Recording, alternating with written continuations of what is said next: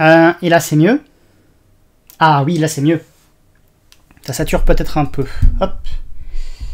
Euh, alors, est-ce que là, ça sature moins? Bien, bien, bien, bien, bien. Paf, on revient ici. Euh, niveau synchro, son, image, on est bon aussi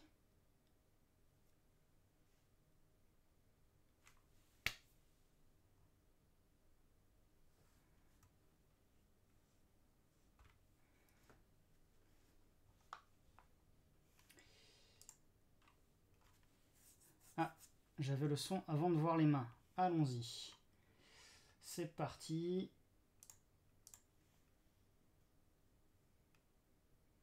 Euh,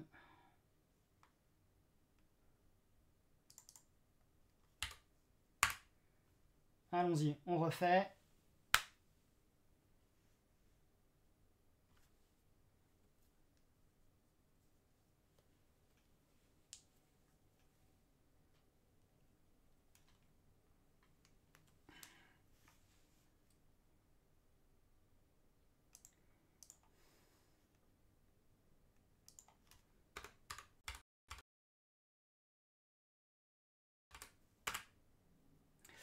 Allez, troisième.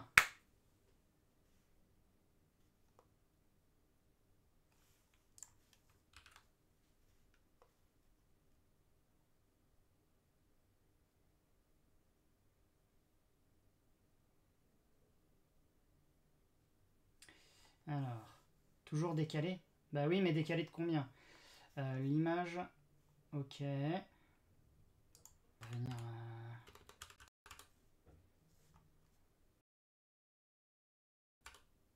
Allez, hop, j'ajuste à nouveau.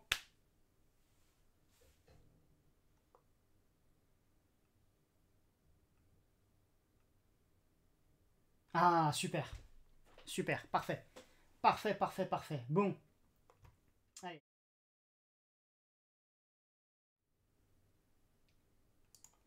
Salut, salut Bienvenue sur Another Homepage. Je suis toujours Niels. Bonne année à toutes et à tous. J'espère que vous allez bien. Euh, salut The, salut Petit Pandarou, salut Lapin Féroce, salut KF35. J'espère que vous avez passé de bonnes fêtes de fin d'année, que vous êtes euh, que vous êtes en forme. J'espère que vous êtes bien reposé. Euh, ah oui, super. Ouais, user not found. Effectivement, pas mal. Bien vu The. je l'aime bien celle-là. Euh, on, va, commencer l'année tranquillement, de façon, euh, de façon plutôt euh, sympathique. Alors, alors, peut-être explication, petite explication, qu'est-ce qui s'est passé avec, le son? Outre le coup du décalage, bon, le coup du décalage, c'est devenu, devenu un rituel, je ne sais pas pourquoi. j'aimerais bien, bien trouver euh, j'aimerais bien trouver l'explication, mais, euh, mais je ne l'ai pas dans l'immédiat. Euh, l'explication par contre de pourquoi il n'y avait pas de son au début. L'explication est relativement simple. Il se trouve que j'ai réinstallé le PC. Salut Chavenet Ah bah oui, moi ça va bien, merci. Ah bah, du coup, je te pose pas la question, tu me l'as déjà répondu. Je suis content de savoir que tu vas bien, ça me fait vachement plaisir. Euh,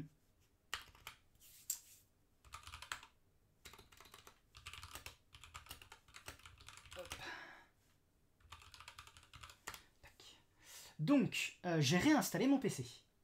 J'ai réinstallé mon PC, je me suis dit, tiens, on va commencer l'année avec euh, une machine euh, propre, enfin, propre, autant que faire se peut. et, il se trouve que, ben, alors, la, première blague, la blague, c'est que déjà, moi, au début, j'avais rien dans les oreilles, parce que j'avais pas branché le câble du casque à la bonne prise jack déjà d'une. Et ensuite, il s'avère que euh, même si j'avais réimporté mes, euh, paramètres OBS euh, proprement, ben, il fallait quand même redétecter les périphériques USB, dont le micro. donc à partir de là, à partir de là, tout va bien. Alors, si jamais vous vous posez la question, je n'ai pas changé de distrib Linux. Je retardais l'upgrade vers Fedora 39. J'en ai profité bah, pour installer en Fedora 39. J'ai eu une blague. J'ai eu une blague. Il s'avère qu'il y a un bug dans, dans un composant de l'installeur de Fedora. je ne me rappelle plus de son nom. au niveau UEFI. Parce que c'est surtout ça le changement que j'ai voulu faire et la raison pour laquelle j'ai voulu réinstaller au lieu de juste faire un upgrade, c'est pour passer d'un démarrage BIOS à un démarrage UEFI. Euh, euh, et, donc, euh, bah, je n'ai pas encore fini de réimporter tous mes, tous mes, comment dire, tous mes paramètres, notamment par exemple le, terminal. Alors c'est assez marrant, j'ai, vous remarquerez que là en haut c'est blanc. pour l'instant, vous voyez, j'ai pas le, j'ai pas le, setup habituel du terminal. Mais, mais, mais, mais, ça ne devrait pas trop nous embêter pour ce soir. Je peux grossir tranquillou. Voilà. Ça, ça devrait pas poser trop de problèmes. Je peux me faire ça à la main. Paf. Comme ça, là, j'ai la... Oups là. Parce que normalement, j'ai un profil pour ça. Mais le profil ne... Euh, ne hop. Ici. Voilà. Et je crois que j'en refaisais encore un euh, ou pas. Voilà, donc bon, ça c'est fait. Hey, merci Alain Merci pour le premier sub de 2024. Merci beaucoup Alain, bonsoir à toi, j'espère que tu vas bien. Euh, je te souhaite aussi une bonne année. Bien, voici un petit peu les, dernières, les dernières, on va dire, news. Mais, euh, mais il va être Salut à toi Little Black. Pareillement, hein, bonne année à toi. J'espère que tu vas bien. Euh, parmi euh, les, changements, bon oui effectivement la réinstallation de la machine. Euh, j'espère aussi, je n'ai pas encore fait le changement, mais normalement je suis censé changer de casque. Donc normalement le, casque devrait changer dans quelques temps, j'espère, bientôt. Il, est là le casque, hein. c'est juste que que il faut que je fasse un petit peu de câblage, on va dire. Et euh, je vous propose euh, de continuer euh, là où on s'était arrêté sur notre, sur notre challenge, sur notre Hall de Computer Challenge. Alors, en quoi est-ce que ça consiste? Ah, allons-y, dans les joyeusetés du début d'année. Du RBL qui passe en unavailable, ouch, et perdre de quelques mails le temps de m'en rendre compte et dégager de ma config. Oui, alors les RBL, ouais, alors pour celles et ceux qui se posent la question, qu'est-ce qu'une RBL RBL, ça veut dire euh, Remote Blacklist, si je ne dis pas de bêtises, ou Blocklist plutôt maintenant. Euh, en gros, il s'agit de services tiers qui permettent, euh, permettent de bloquer des adresses IP selon leur réputation. Généralement, les RBL sont utilisés dans le cas des serveurs de mail. Personnellement, j'en utilise. la plus connue des RBL communautaires, s'appelle Spamhouse. Encore que je suis même pas sûr qu'il soit communautaire. Ça se trouve, il y a une entreprise derrière. RBL, c'est réel. Salut Adrien et bonne année à toi aussi. réel bonne année. et donc, toujours est-il que. Euh, alors, il en existe plusieurs. Je pense à, Pam, à Spamcop. Je pense à. Euh, mince, comment ça s'appelle euh, C'est pas UCE ou UCS Protect Je sais plus. ouais, l'armoire en pain est toujours là. J'ai réinstallé le PC, mais l'armoire en pain est toujours là. En plus, j'ai profité, j'ai profité de la, fin d'année pour faire, pour faire une. ce que, ce que j'aime dire de façon, comment dire, de façon affectueuse, j'ai joué au Bonto avec des boîtiers PC. C'est-à-dire que j'avais besoin de, je voulais changer certaines machines de boîtiers, donc j'ai fait des fois des, mouvements un peu bizarres. Euh, du genre j'avais une machine d'expérimentation, son boîtier est devenu le boîtier de mon PC. Euh, le boîtier du NAS est devenu le boîtier de la machine d'expérimentation. Je sais pas si vous arrivez à suivre. Parce que là, du coup, le NAS, euh, bah, il a plus de boîtier, mais en fait, c'est parce que j'avais trouvé un autre boîtier pour le NAS. Ça va, tout le monde a suivi? Boîtier neuf pour le NAS, boîtier du NAS dans, un PC d'expérimentation, et le boîtier du PC d'expérimentation, c'est devenu le boîtier du PC principal.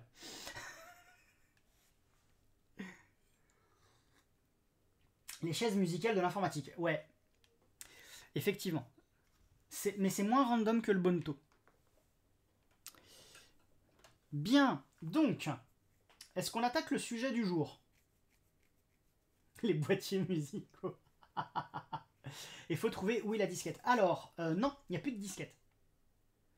D'ailleurs même, j'ai dû retirer, euh, j'ai dû retirer pour le boîtier que j'utilise pour mon PC, euh, j'ai dû retirer un emplacement de disque dur parce que sinon celui-ci venait taper contre la carte graphique.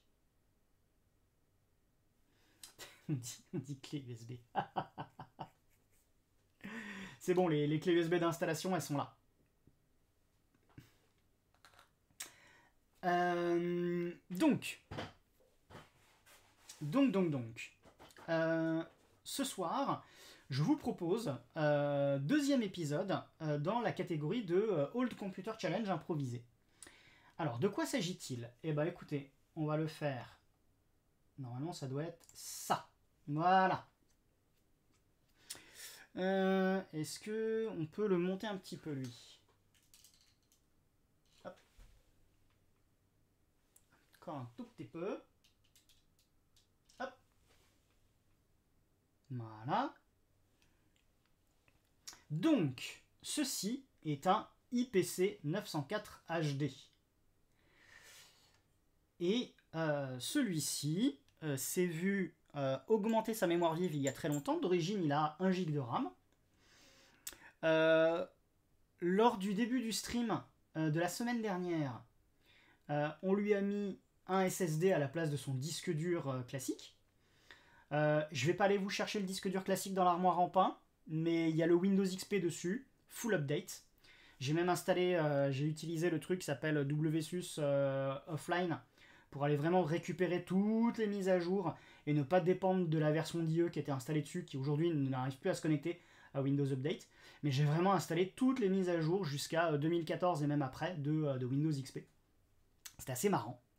Euh, mais toujours est-il qu'il a toujours son petit Celeron 900 MHz poussif et surtout, et surtout, 32 bits. Ah, ça te rappelle des mauvais souvenirs, Alain Bah écoute, euh, on va s'en faire des nouveaux. Donc petit pandarou, si tu as un, pareil à la maison, euh, sache qu'avec un peu de chance, tu peux lui, lui ajouter de la RAM et lui mettre un SSD. Non, lapin féroce, ce n'est pas de l'atome. Les tout premiers IPC, ceux qui ont démarré euh, ceux qui ont démarré, je dirais, la tendance des ce qu'on appelle des netbooks, eh bien, euh, ils avaient un, euh, un Celeron. Alors j'ai joué aussi avec du processeur Atom, notamment le, très célèbre Atom 330, un petit peu l'Atom N2600. L'Atom N2600 qui a, qui, a qui a entre guillemets son, sa puce graphique, qui en fait à la base était une puce graphique de, euh, euh, de, smartphone, je crois. Debian reste une des dernières. Oui, alors justement, on s'était posé la question de quel distrib utiliser lors de, euh, lors de la dernière, lors du stream précédent. et il y a eu une immense majorité qui a voulu installer Debian. Moi j'étais partant pour mettre du Mageia ou, peut-être du, du Arch 32 si on était vraiment motivé. Euh, il y a d'autres personnes qui sont arrivées ensuite, qui ont proposé d'autres distribs, mais on avait déjà installé. Il n'y a pas de souci, Adrien. Tu peux regarder le replay. Normalement, il est toujours dispo sur Twitch. Mais, euh, voilà, on est, euh, avec une Debian. Alors sous XFCE, mais. Je crois que j'avais installé LXDE à côté. mais toujours est-il que, toujours est-il que nous avons une Debian avec un XFCE et sur lequel, alors pour la petite anecdote, je ne sais pas pourquoi, mais euh, l'émulateur de terminal de, euh, de XFCE ici, là, il ne fonctionne pas. Voilà, on le lance. Alors bon, Tunar, hop, voilà. Paf, il s'est planté. Fort heureusement, on a un autre émulateur de terminal. on va lancer système. Hop, on va utiliser LX terminal. Voilà. Et en fait, euh, et en fait moi de toute façon j'ai un deuxième clavier. Voilà. Ouais, alors, euh, alors lapin féroce dans l'absolu, euh, dans l'absolu pourquoi pas? Ça peut être marrant, mais, mais bizarrement, effectivement, passer sa vie à compiler sur ce genre de CPU, la pauvre, la pauvre machine. Alors je sais qu'il est possible d'utiliser, mince, comment ça s'appelle? DistCC, je crois. un live de 72 heures. Effectivement, ça Oui, voilà, exactement, Adrien, 10 CC pour essayer de faire compiler à une machine sur le réseau. Euh, mais euh, le truc sera installé l'année prochaine. Je pense que euh, je pense qu'il vaut mieux il vaut mieux rester sur des distribs binaires dans les médias, même si même si alors je ne sais pas si c'est le cas pour i686, mais figurez-vous que ouais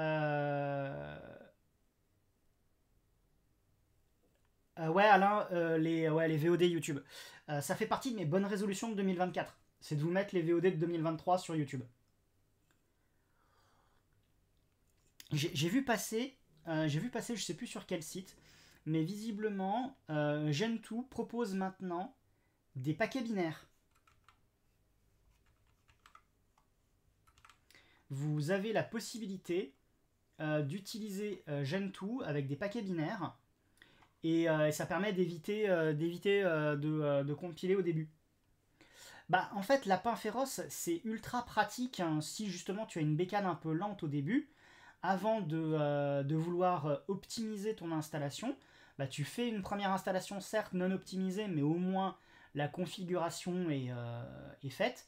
Et à partir de là, bah, tu, rajoutes tes, tes, flags de compile aux petits oignons, et puis bah, tu relances une compile tu la lances, je sais pas moi, euh, puis un, matin ou un soir, et puis tu la, tu la retrouves le lendemain matin ou deux jours plus tard. Donc à partir de là, euh, à partir de là, on est, euh, on est bien quoi. Donc, toi par contre, ce serait peut-être pas mal si, est-ce que si je fais ça, ça zoome un peu? Non?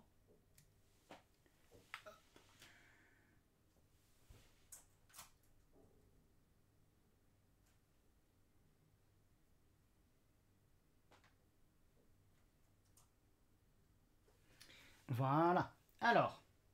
Alors désolé, il y a la... Je sais pas quelle zone de... Ah, ça doit être celle-ci.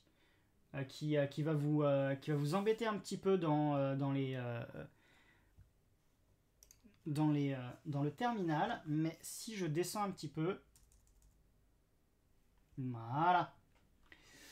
Euh, le premier truc que je voudrais vérifier d'ailleurs pour euh, s'éviter quelques petits soucis. Oui, alors Alain, Alpine existe aussi en 32 bits, mais je n'ai aucune expérience avec Alpine en graphique. Euh, pgrep. Hop, SSHD. Ah, il y a un SSHD. Ok. Euh, moins 4.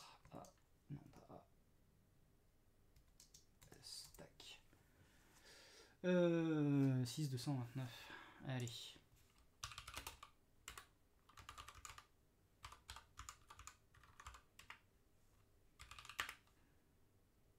Comment ça, too many authentication failures? Euh...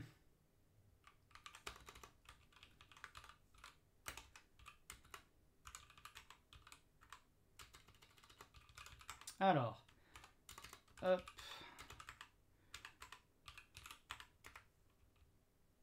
On va se faire un petit fichier SSH. Ouais, c'est cool, j'ai du réseau pour une raison très simple, c'est que euh, je l'ai branché en filaire pour pas m'embêter la vie. Euh, par contre, euh, je crois qu'il a quand même détecté la carte Wi-Fi, mais je n'ai pas encore essayé hors stream de la de la de la comment dire de la vérifier. Donc on a dit que c'était 6.229. Hop.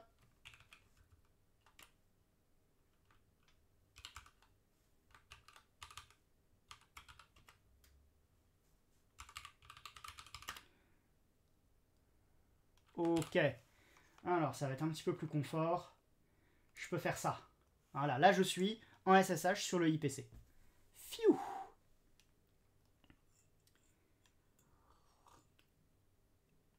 Donc au moins, au moins pour ce passage-là, si jamais il y a besoin d'installer des trucs.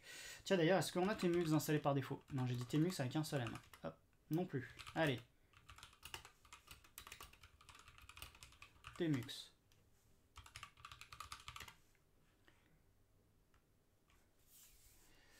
Moi, j'ai toujours dit Alpine et pas Alpine. Alpine. Ah oui, Alpine, d'accord, ouais, ok. Oui, oh, c'est pas grave, Alain, on est. euh, tant qu'on se comprend. Tant qu'on se comprend. Euh, Alors, ce qu'on va faire, c'est que je vais en profiter pour vous montrer le petit NeoFetch qui va bien. Donc voilà, on a bien, euh, une Debian en 32 bits. On a, on a un petit bash. La résolution de la machine, 1024 par 600. Euh, le Celeron M, euh, on a bien 2 GB de RAM. Alpine comme Ariel. Oh là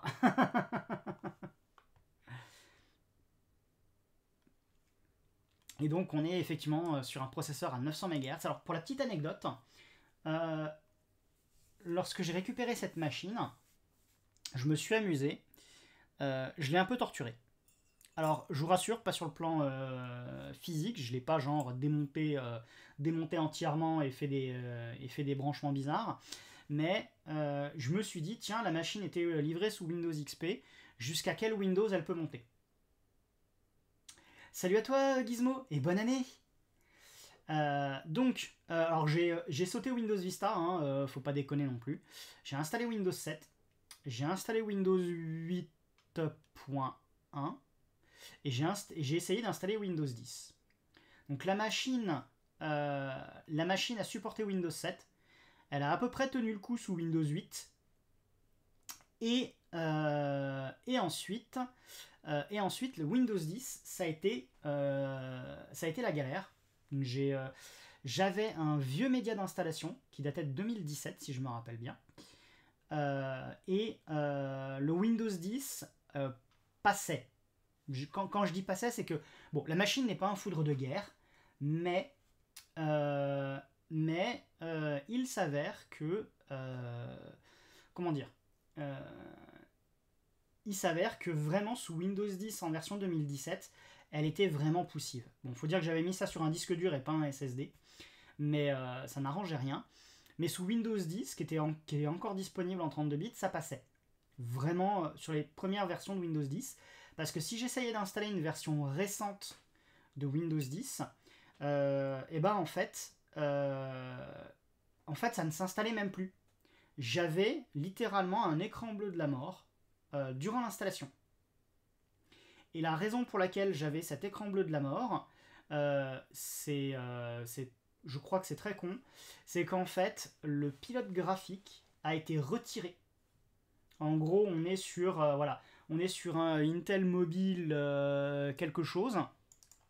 Non, si je fais un petit euh, sudo lspci.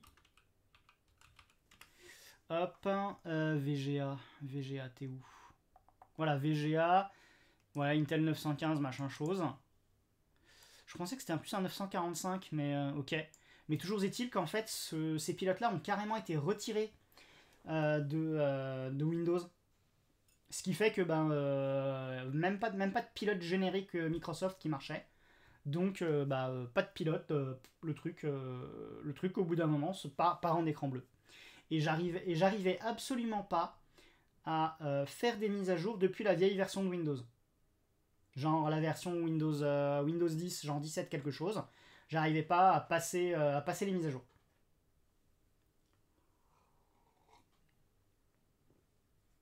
Bah voilà, pas de pilote, pas d'affichage. Dommage, hein. Alors autant il y avait le pilote de base euh, durant l'installation, mais au bout d'un moment, à mon avis, il cherchait à charger le pilote, euh, le pilote Intel le plus vieux possible, et, euh, et là, ça partait, ça partait en vrille. Donc, si je vous fais un petit, euh, un petit hashtop sur la machine, vous allez remarquer que pour le moment, ça se passe plutôt bien.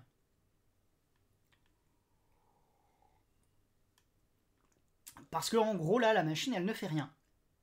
Si je lance Firefox, c'est un cauchemar. Euh, J'étais en train de me dire, euh, est-ce que euh, est-ce qu'il n'y a pas un petit benchmark CPU qu'on peut utiliser? Ah, tu veux que je te montre? Tu veux que je te montre? Regarde.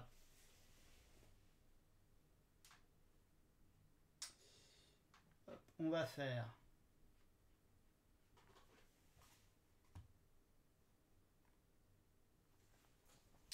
On va revenir sur cette vue-là. et je vais lancer Firefox. Paf. Donc là, je lance Firefox. Vous allez voir, l'écran va pas tarder à changer.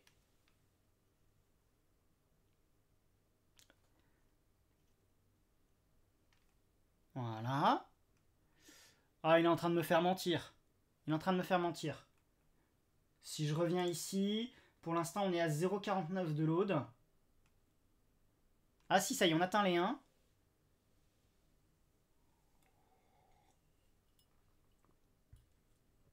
Alors, pas de pilote, pas d'affichage, pas d'affichage, pas de bras, pas de bras, pas de chocolat, pas de chocolat, pas de chocolat.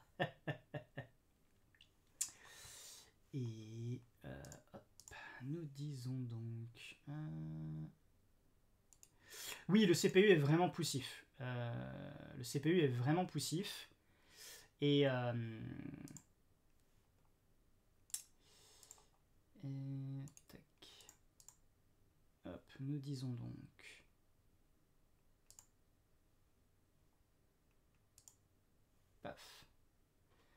Euh, voilà.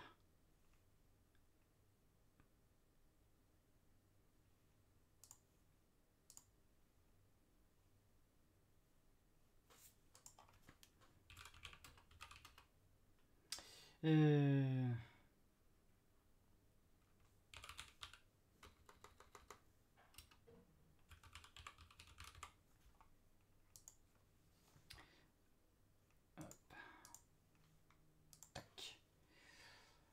Donc ça, voilà, vous avez vu euh, Firefox, là, paf, voilà, 2.41 euh, de load.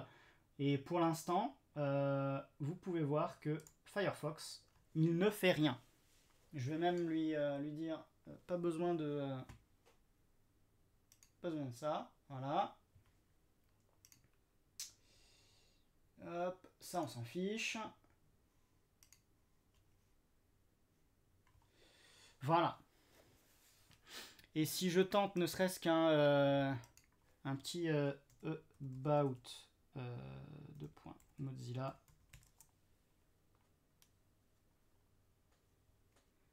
Si ça va, le about Mozilla il passe. Tiens, je vais tenter un truc. Si je tente, si je tente juste mon site perso, Another Homepage. Oups.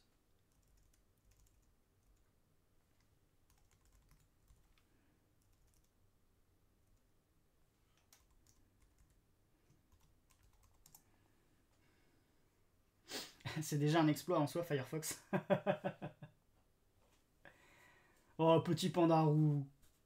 Je, je, pensais pas que tu, euh, tu serais critique de Firefox.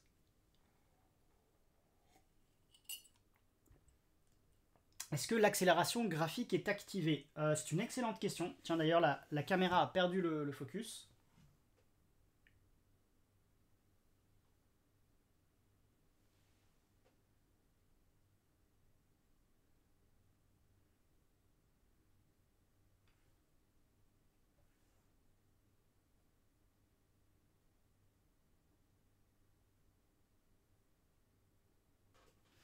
Bon, bref, à mon avis, il doit pas aimer le. Euh, doit pas aimer le fond sombre, mais euh, si je fais blog.anotherhomepage.org,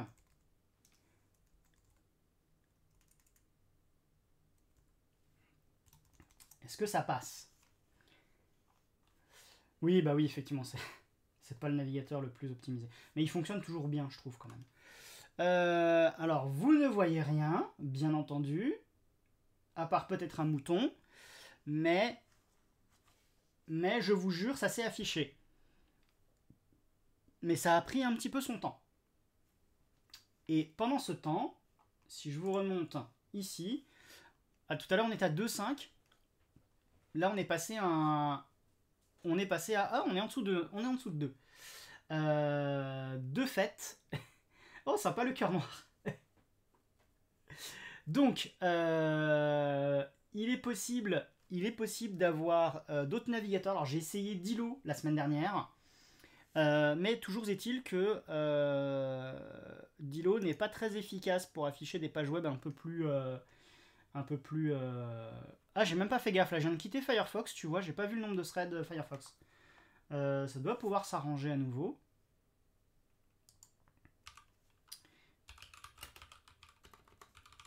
Donc là, j'en ai pas.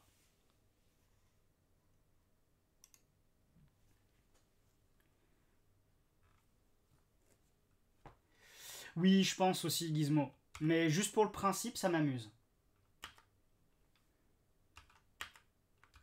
Euh, Firefox-bin peut-être?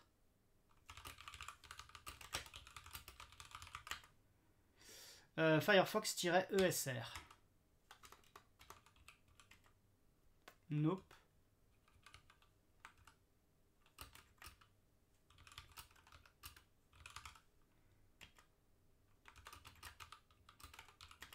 Hop.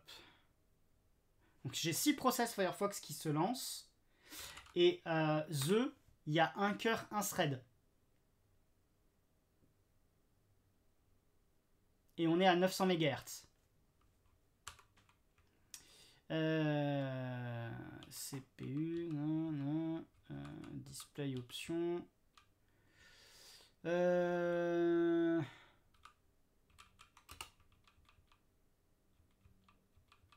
Je sais plus où j'ai le... Euh, voilà, chaud, CPU fréquency, plus, CPU température, mais... Ah si, je l'ai. Tac. Mais voilà, on est vraiment... Euh, tiens, là on est en dessous de 1, ce qui est pas mal. Mais on a quand même... On a quand même voilà, 6 processus Firefox pour, euh, pour un Firefox à vide.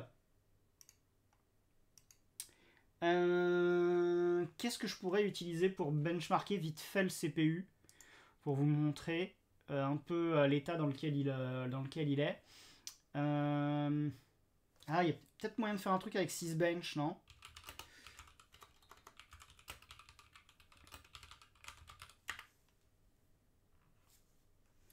Qu'en fait, un truc que j'aimerais faire...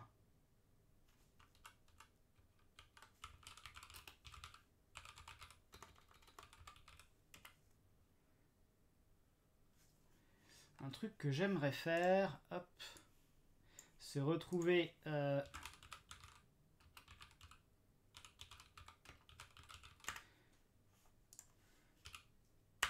Ah, oups.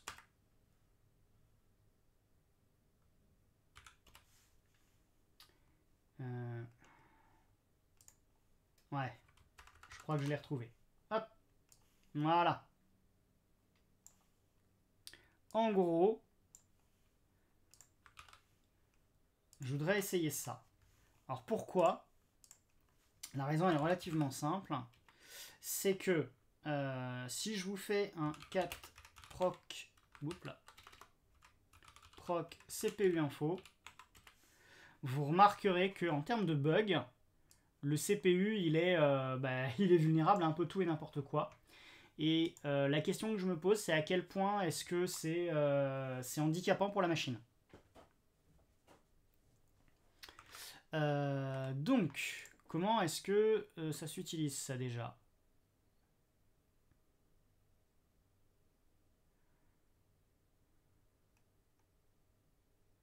Voilà, il n'y a plus qu'à faire un petit, un petit euh, copier-coller. Hop.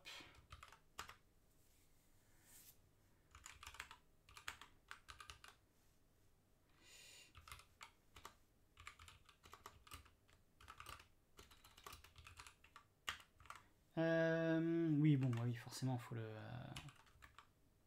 Euh, hop.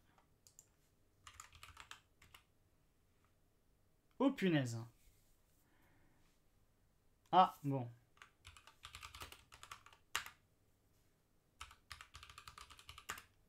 Hey, merci beaucoup pour le follow, euh, PanaCP. Merci à toi, c'est très gentil. Et bonne année d'ailleurs. Euh... Ah zut, avec le... Euh, avec le euh. Donc, en résumé... Comment ça, Gizmo Il y a encore un décalage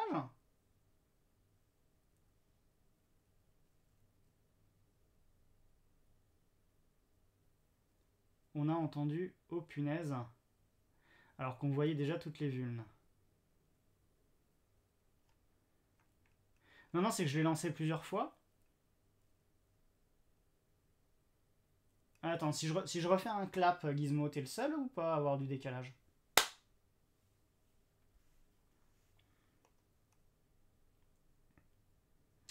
Euh...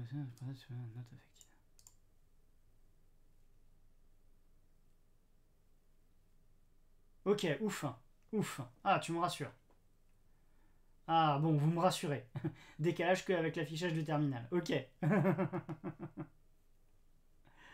Euh, donc, euh, ce qui est intéressant, c'est qu'on a quand même quelques CVE où en fait la machine est toujours affectée. Je pense que c'est que euh, il doit y avoir des trucs. Donc, j'aimerais bien lancer un petit sysbench. S'il y a moyen de faire ça rapido. Euh, et le test name CPU. Donc si je fais un sysbench tout court, qu'est-ce qu'il me dit?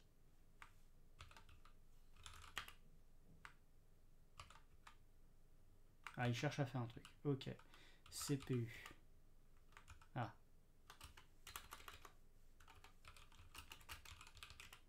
Donc attends, option test name commande.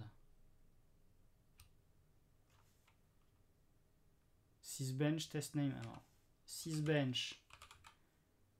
Ah d'accord, c'est CPU run. Ok, merci lapin féroce. Allons-y. Donc là, pour le moment...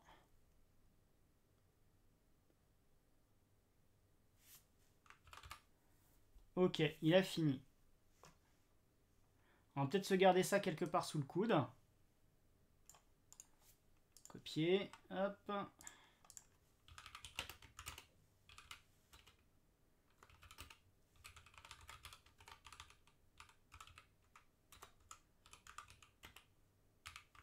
Donc ça, c'était avec les mitigations activées. Euh, si on va chercher euh, Linux, hop, j'ai dit Linux,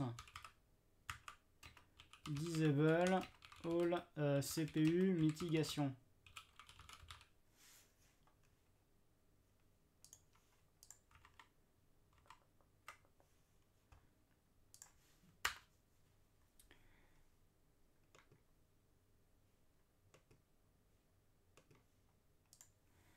Alors.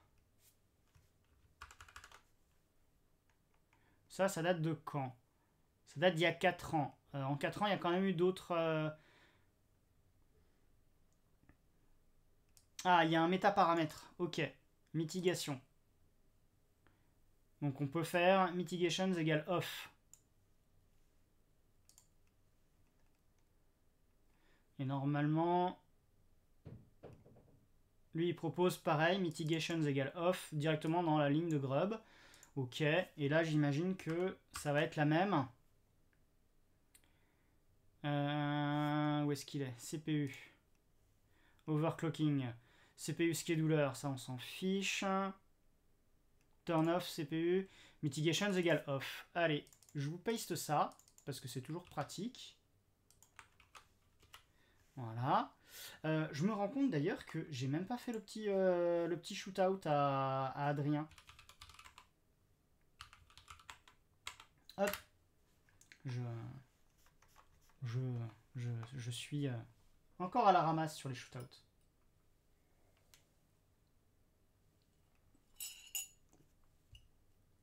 Alors.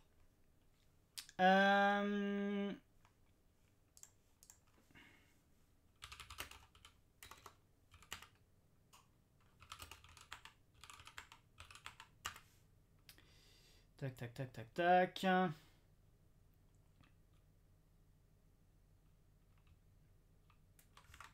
Ah, attends, elle est où là? Ils disent de faire ça dans, le grub CMD Line Linux Default. Ok. Et on dit qu'on rajoute mitigations à off.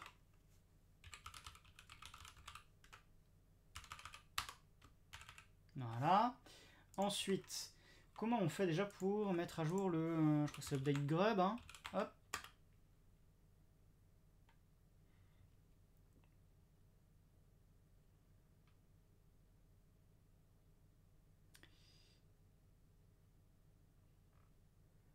Ok, je vais quand même relancer... Je vais relancer un peu le truc. Pour une raison très simple. Alors je sais qu'il faut que je reboote entre les deux, mais je voudrais noter... euh, je voudrais noter le résultat. Au moins le, résumé, ici. Hop. Copier. Coller. Voilà. Comme ça, je pourrais éventuellement essayer de comparer. Et euh, voilà, on copie le summary. Alors attendez, parce que j'ai loupé un truc. Gizmo, j'ai découvert. De... bah, attends, pendant que Gizmo, pendant que je lis le message de Gizmo, on va faire un petit sudo reboot. Voilà. Et ensuite, euh, j'ai découvert deux outils cool ces derniers temps. Alors attends, pendant ce temps, paf, voilà. Euh, PS AD et Nginx pour faire du reverse proxy SSL pour PSAD seulement en mode audit. C'est quoi PSAD C'est un, WAF.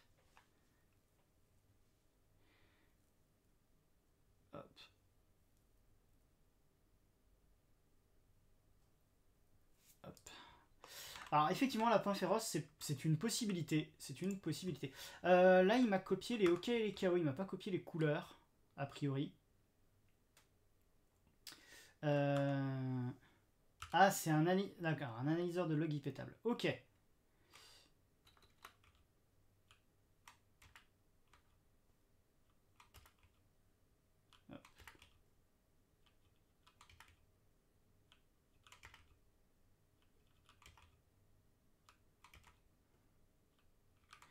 Pendant ce temps, je jette un œil à ce que j'ai. Et une fois qu'il aura redémarré, qu'il m'affichera le la mire de login. Ah, on y est presque. hein. Mine de rien, il démarre pas si lentement que ça. Voilà, là c'est fait. Allez.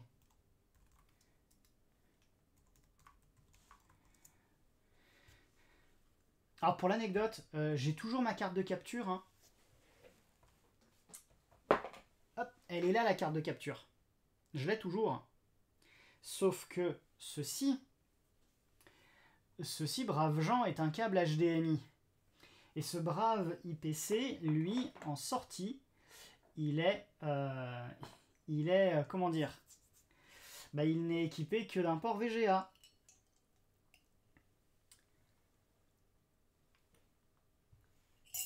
Plus rapidement que certains serveurs en DC. Euh, euh, De toute façon, euh, tu sais aussi bien que moi, The, que, que, les serveurs en PC, en, en data center, pardon, s'ils démarrent plus, lentement, c'est aussi parce qu'ils ont plein de vérifications à faire au démarrage. Hop, si on revient ici, alors non, pas sudo reboot. Si je fais un 4 slash proc cmd line, j'ai bien le mitigations à off. Euh, et euh, si je refais un petit sudo slash spectre meltdown checker,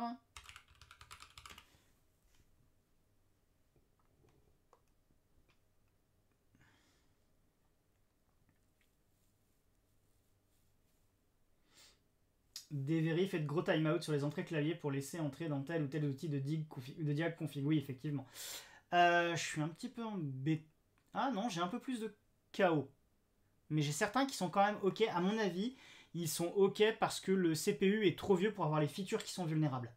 Je pense. Mais typiquement, celle-ci, la première, elle était OK avant.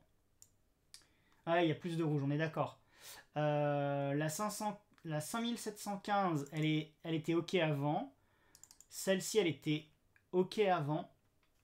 La 30 2018 36 39, elle était déjà KO. La 36 15, elle était déjà OK. Euh, la 2018 12 126, Elle était déjà KO.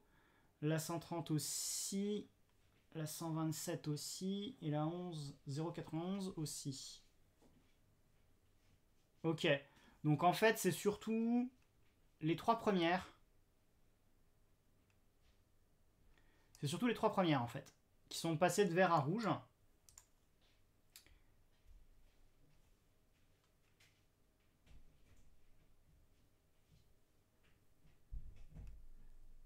Ouais, c'est juste les trois premières en fait qui sont passées de vert à rouge. Voilà. Euh...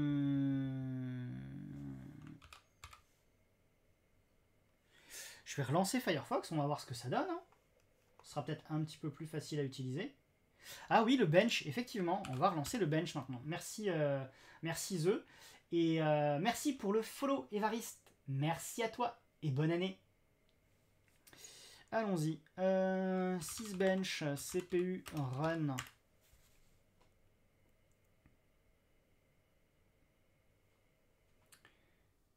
Donc j'avais un 149 events par seconde. Et je suis passé à 164. Je suis passé à 1647 events au lieu de 1497. Et en termes de latence, euh, la latence en average a baissé un petit peu. Le max aussi, on est passé de 37 avant à 17 maintenant.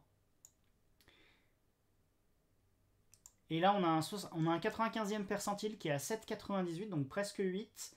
Alors qu'on était à 13,95 avant, donc presque 14. Donc euh, il y, a, y, a, un léger mieux. Il y a un léger mieux. Euh, ça c'est clair. Euh, maintenant la question c'est est-ce que si je lance un Firefox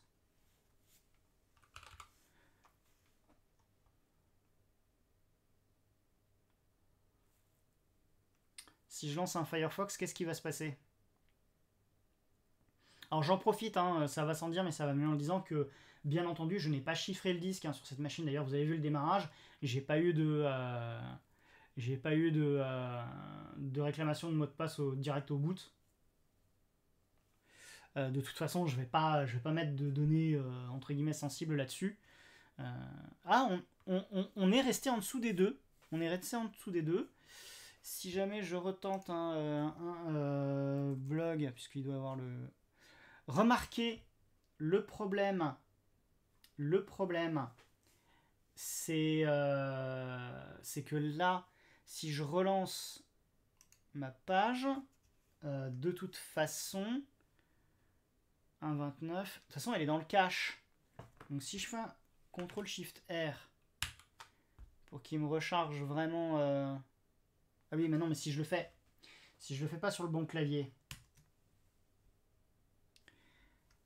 et je vous remets ça. Alors bon, vous voyez toujours pas grand chose. Le cache du navigateur The. Désolé, j'avais pas passé la, la, la, comment dire, j'avais pas changé la, source. Et en fait, euh, pendant ce temps, euh, on a une load qui est quand même bien plus faible sur. Euh,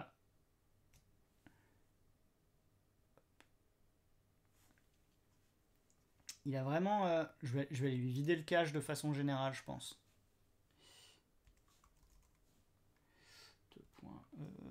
C'est préférence ou config? Config. Ah oui, mais non, c'est pas ça. Euh, c'est pas ce que je veux. Ce que je veux, c'est la menu bar. Voilà. Et ce que je veux, c'est aller dans Edit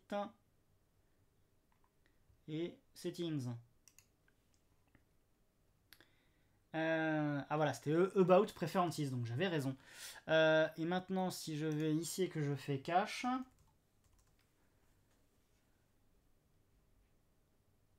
Sérieux, il n'y a, pas de, euh, a pas de setting pour cache. Privacy and Security. Standard. Ah voilà, Cookie Inside Data. clear Data. Tac, tac, tac. Voilà. J'efface tout. Et on quitte Firefox. Voilà. Et on le relance. Bon, je suis monté à 2.35 moi avec mes bêtises. Hein.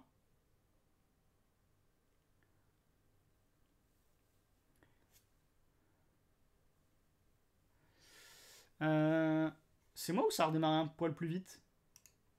Bon là j'imagine que si je tape blog, il doit... Si, a quand même gardé l'historique. Ok. Hop. Mais forcément j'étais déjà à 2... Euh, ouais, ça va, ça reste... Euh, ah, je monte à presque 3 de load, dis donc. Je suis à 2,94 sur le... 3,19. Bim. Je pense que c'est le déchargement et le rechargement de Firefox. Du coup, c'était pas très. Euh, mon test est un peu euh, un peu pas très valide en vrai. En vrai. En vrai. Mais euh, je pense qu'en lisant du flux RSS, ça doit pouvoir limiter la casse. Donc sur ce genre de machine là. Donc je pense que si jamais on veut utiliser ce genre de machine là de façon, on va dire, régulière, effectivement, faire un max de trucs dans le terminal euh, quelqu'un disait faire de l'IRC, bah, c'est pas déconnant en fait sur ce genre de bécane. Euh, et, euh, et, faire. et essayer d'éviter d'utiliser Firefox, parce qu'à mon avis, lancer un truc comme YouTube là-dessus, ça, doit être, ça doit être une horreur. Je, n'ose pas essayer d'installer Vidéolan et, et, de lancer une vidéo. Mais. Déjà, ce que je vais peut-être faire, c'est faire ça. Euh, ah, zut. Euh, je refais mon... Je vais refaire mon test, je vais me le copier-coller. Hop.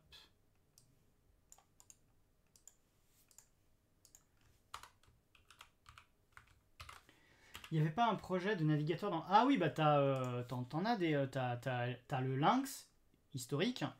hop.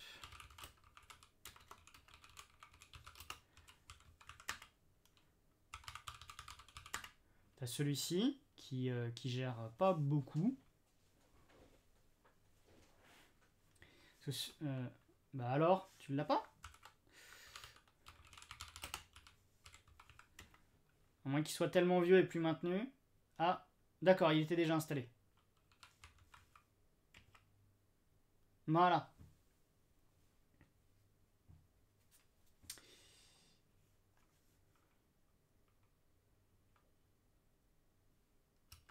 Oui, il y a effectivement E-Links. Euh... surtout yes.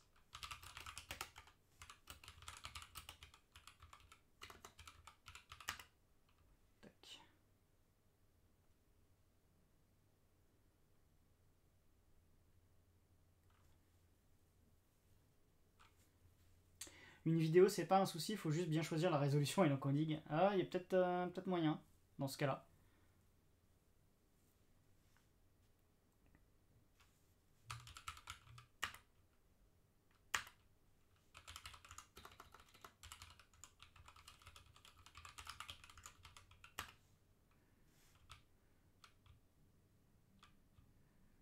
Alors forcément, j'ai d'abord tout le menu.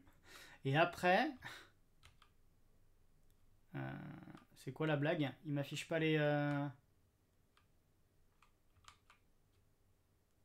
ah d'accord, attends, il me fait à propos, nanana. Ah oui d'accord, il me fait la liste de mes... Euh, et en fait, il, il suffit de faire read. Tac. Et là, normalement, j'ai mon article. Ok pour la vidéo, je me demande si là. ouais, si, effectivement cette bibliothèque permettrait pas. Effectivement, je ne sais pas s'il y a un. S'il y a moyen. Euh, je crois que VLC euh, la prend en charge, cette bibliothèque, dont je ne prononcerai pas le nom, hein, tu m'en voudras pas, petit roue. Mais, euh, mais oui, il y a des gens que je crois qui ont déjà utilisé VLC avec cette bibliothèque pour, pour afficher des vidéos dans le terminal. je voulais relancer le Sysbench CPU Run, juste pour le principe et me copier-coller ça dans le... Ouais, et puis là, maintenant, la, machine est passée à 0,39. Je la sens un poil, euh, un poil plus... Euh, un poil plus véloce comme ça, non? Mais c'est peut-être juste moi et mon impression. Hop, allez. Je me garde ça de côté.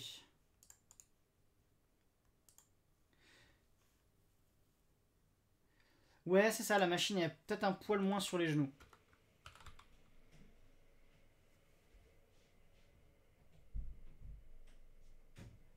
Ce qui serait, euh, ce qui serait marrant, ce serait de réussir à essayer de... Euh, entre guillemets, d'overclocker le CPU, mais bon, on est sur un ordinateur portable. Euh, mais quand je vois que bon, on est à 53 degrés, si on pouvait gagner 100 MHz, est-ce que par hasard... mince, comment s'appelle l'outil déjà?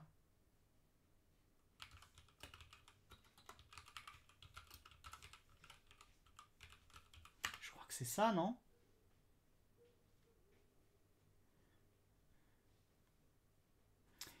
CPU Freq Utils. Hop, c'est celui-là, effectivement.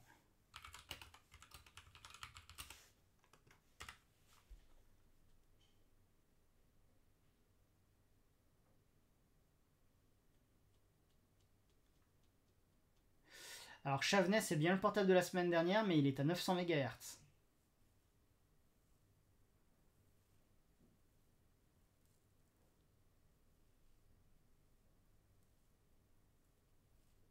Et d'ailleurs, pour l'anecdote, euh, j'en ai profité pour essayer d'installer le, euh, MacBook Pro, parce que donc on avait le choix entre deux machines. Et euh, alors par contre, je l'ai installé en disque chiffré, l'installation s'est bien passée, mais alors le redémarrage, j'ai jamais réussi à avoir la mire de login, donc il faudrait que je refasse des essais sans chiffrer le disque. CPU, frec, info. D'accord, donc en fait, de toute façon, euh, pourtant 2004-2009. Euh, CPU scheduler. Real-time kernel, nanana. CPU limite. Non, c'était pas ça que j'utilisais. Ah voilà, frequency scaling, c'est ça que je voulais voir.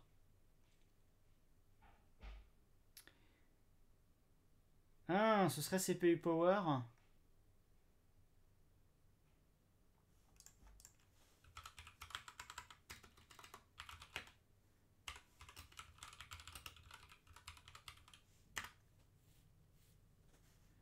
Bah alors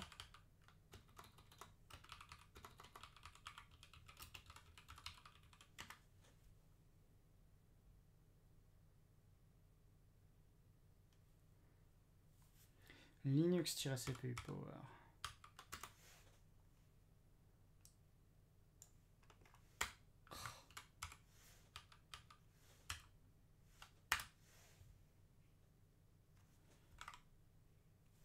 Donc, set of user space utilities to assist CPU frequency scaling.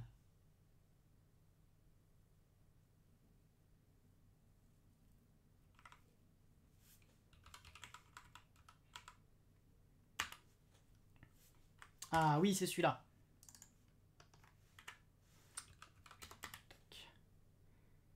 Et il a rien d'autre. À moins qu'il faille que je redémarre. Ah, mais il faut, il faut peut-être démarrer un service.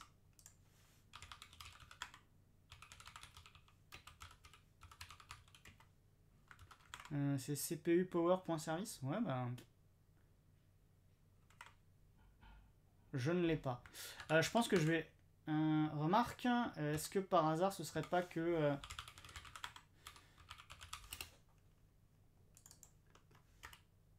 Unit file... Oh System CTL Daemon Reload. Même si normalement Debian devrait faire ça, j'imagine.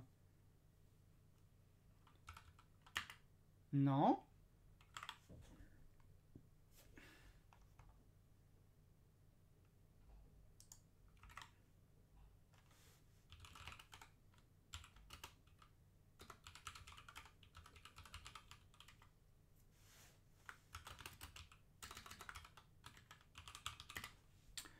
Euh, bâche complétion, ok.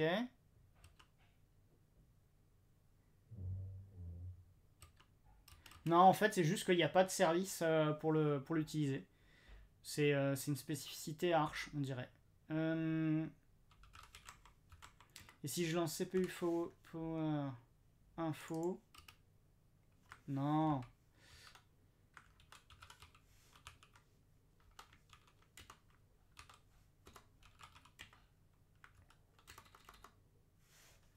Fréquencier info, il est vraiment. euh, Unable to call. Je vais quand même redémarrer la machine. Juste par acquis de conscience. Parce que si ça se trouve, euh, c'est qu'il y a une connerie qui est pas. euh, qui est pas installée.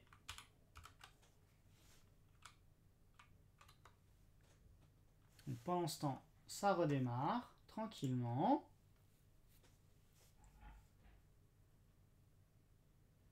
Ça me fait penser que je me rends compte que j'ai pas allumé certaines lumières. Ça donne quoi là? Ah ouais, c'est pire. Ok.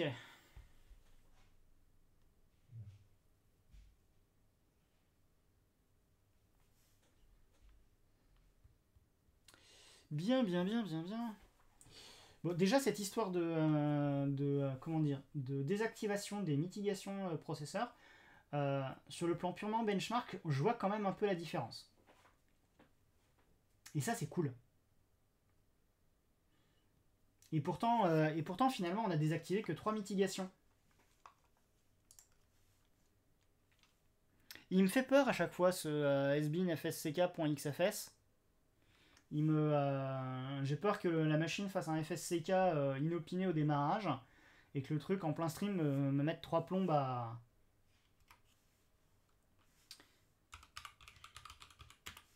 Bon, en attendant, la machine n'a peut-être pas lancé la mire de login, mais moi, je suis en train de me connecter en SSH dessus. Hop, voilà. Et nous revoici, nous revoilà. Donc, si je relance,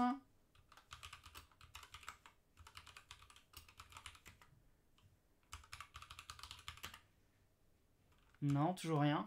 Euh... Fréquencier info. Oups là. Ouais, non, rien du tout. Donc je peux même pas, euh, je peux même pas voir s'il y a moyen que, euh, je veux dire, d'a- d'activer un, turbo ou, euh, ou de, de descendre la fréquence CPU pour une raison X ou Y.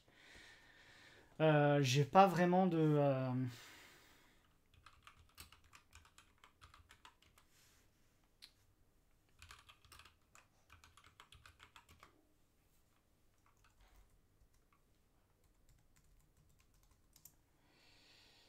J'ai pas grand chose.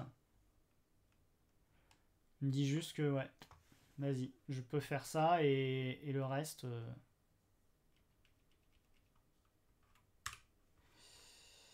euh, juste par curiosité, il me bouffe beaucoup de RAM ou pas? Non, ça va.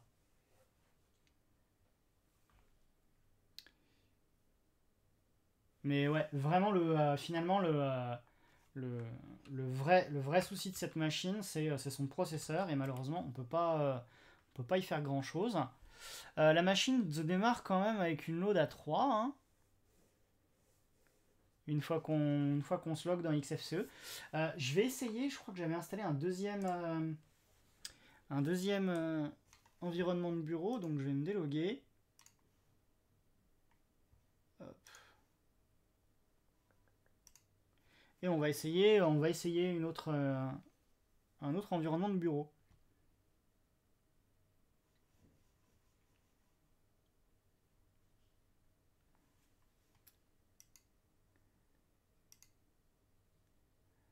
On va essayer euh, LXDE. Hop.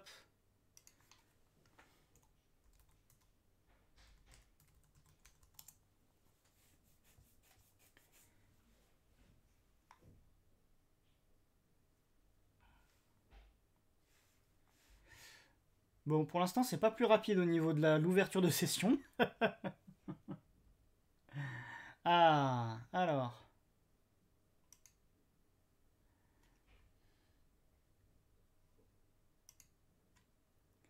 Je vais regarder si, euh, si le, le terminal XFCE se, se plante toujours, lui.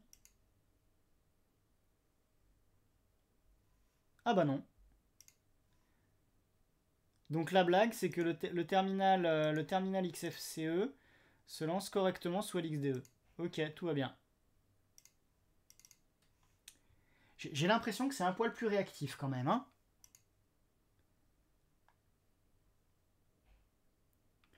Et si je lance... Ah pourtant j'ai toujours une load à 3.14, hein, c'est fou.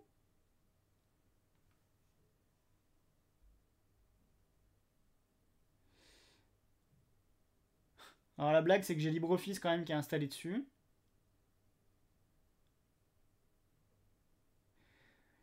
je, pense que oui, la, machine est quand même... Alors vous voyez rien forcément, euh, mais en gros je pense que la machine est quand même capable de démarrer du, euh, lecteur MP3. Parce que ça tourne en rond, donc load à 3.14 seems legit. Ah peut-être. Euh, oui, tourne en rond. Ok, tourne en rond. Bah, moi, il a fallu un moment pour que ça monte. Hein. Euh, mais en attendant, euh, je pense. Pourtant, en termes de CPU, c'est pas grand chose. Hein. Je me demande s'il n'y a, pas, euh, s'il a pas aussi du, du stockage qui joue. Parce que, mine de rien, je vais revenir sur cette vue-là. Vous remarquez quand même qu'on a une load qui est, presque à 1, qui tout à l'heure était à 3.14, mais en fait le CPU lui-même, il n'est pas à genoux, il tourne, il n'est pas ultra sollicité.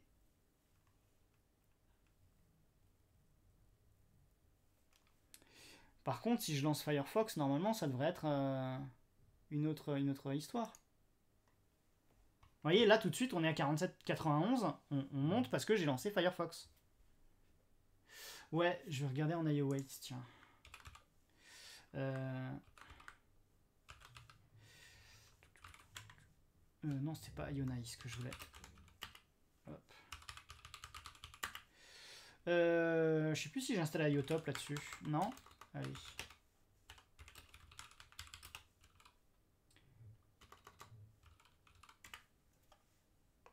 Alors que pourtant, c'est un SSD qui est dedans. Hein. Mais après, on, est, on doit être encore en SATA 1.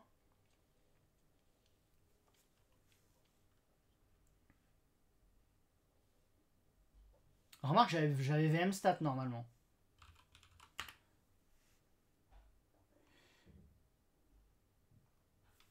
Alors si jamais je décide de relancer Firefox, je le quitte.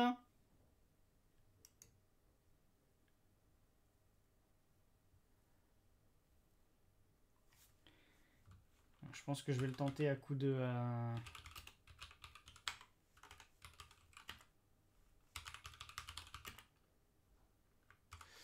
Euh, IOStat moins D. Et euh, le delay count, à mon avis, à 5, ça devrait le faire. J'ai...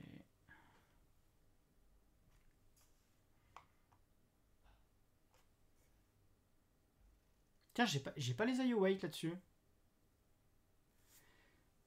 Euh, est-ce que je les aurais pas sur un top classique? Euh,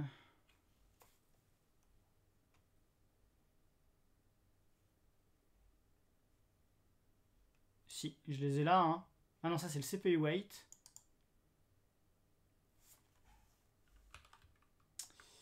Euh,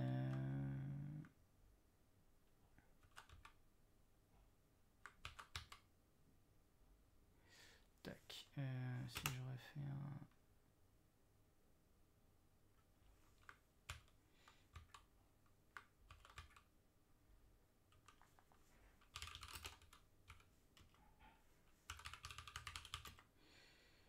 Il euh, n'y avait pas un IOStat à une époque Un IOTop.py, c'est quoi cette blague? Euh...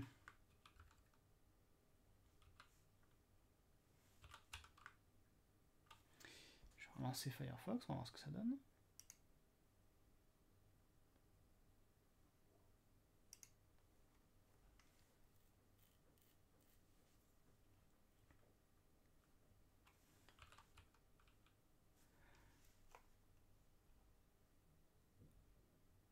Ouais, c'est étonnant. J'ai pas, pas, des, euh, pas des valeurs qui sont... Euh, Les valeurs sont pas folles. Bon, là, forcément, le CPU est à 100%. Puisque forcément, Firefox est en train de... Votre message dans une fréquence trop élevée. ah, euh, alors je sais pas ce que tu as voulu envoyer.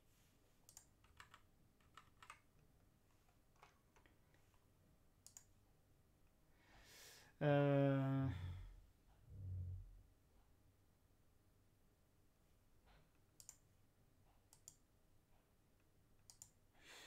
Euh, est-ce que je peux... Euh,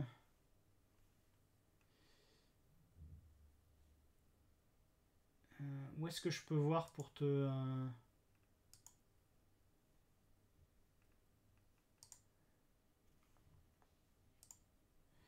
Alors...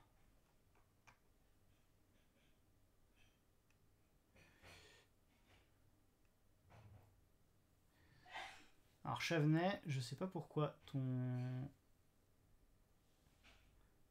pourquoi ton message a été euh, pourtant j'ai pas normalement j'ai pas de mode euh, j'ai pas le mode bouclier, j'ai pas de mode land activé.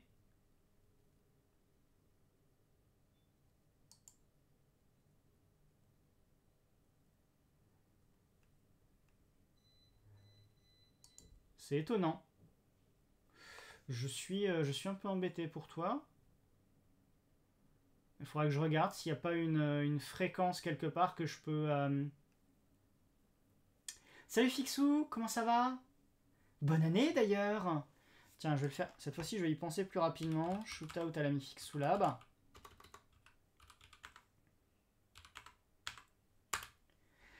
Tu passes de la 4G du Wi-Fi sans arrêt, c'est peut-être ça. Ah, peut-être, effectivement.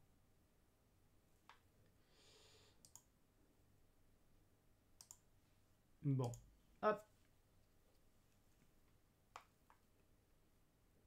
Bon, là par contre, ça travaille un petit peu plus. Forcément, il y a Firefox.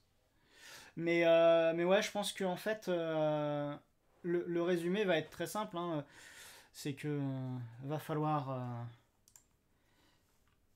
alors.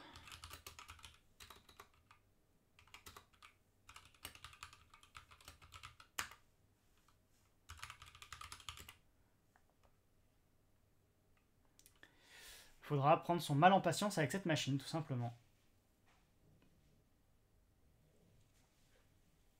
Mhm.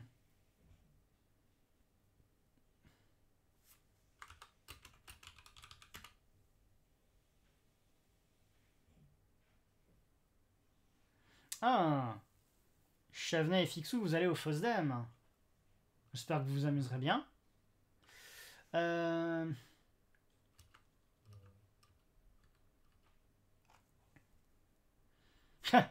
YouTube Vidéo Browser. Je sais pas si ça passerait. Euh, VLC, d'accord. Il s'appelle juste VLC.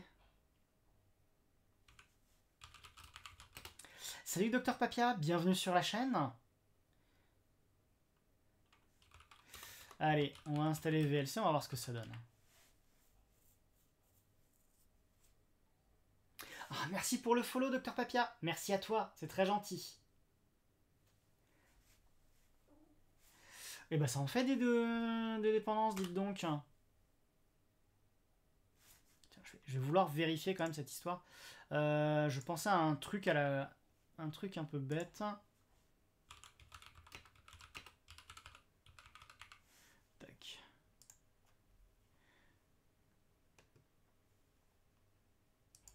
Faut le compiler.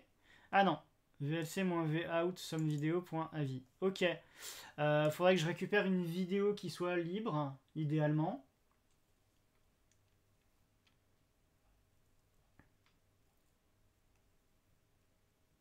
Mais il y a peut-être moyen de faire un truc.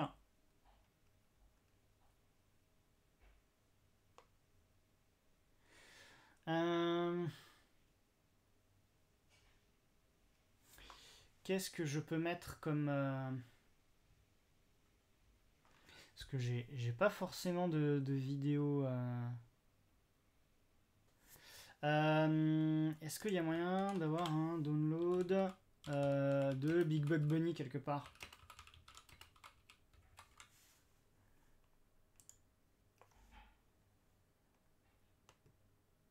Ah Merci Docteur Papia pour le, pour le follow. Enfin, pas pour le follow, pour le sub, pardon. Le sub avec Twitch Prime. Merci énormément, ça fait très plaisir. Merci beaucoup pour ton soutien. Eh, ça fait deux subs aujourd'hui. Dites donc, vous êtes, euh, vous êtes euh, en forme. Ça fait plaisir. Euh, alors. 4K. Franchement. Release. Hey, salut à toi PDP Maker. Ah bah vous êtes, vous, vous rejoignez? Allez. Petit shootout à l'ami PDP Maker. Hop là. Alors, est-ce qu'il y a moyen de le télécharger? Euh, On va peut-être être gentil, on va le récupérer en 480p. Euh, quelle version on pourrait prendre? T'es un bon prof qui m'a marqué, donc je le rends comme je peux. Oh, c'est mignon ça, merci. C'est très gentil. Euh... Ça... Ah, je suis touché. Merci. Et oui, bonne année à toi aussi. Bonne année à tous ceux à qui j'ai pas dit bonne année en début de stream d'ailleurs.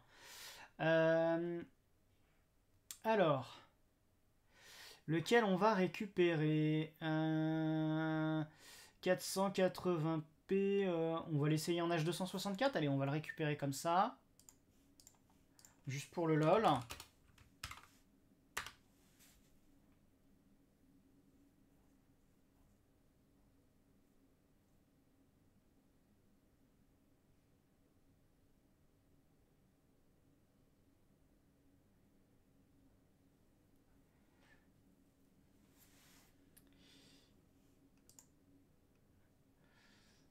ça descend à 3, 4. Je, vais jeter un œil au graphe de mon euh, au graphe de mon monito, enfin mon monito de ma métrologie. Je suis curieux de voir. Euh, hop, un réseau switch.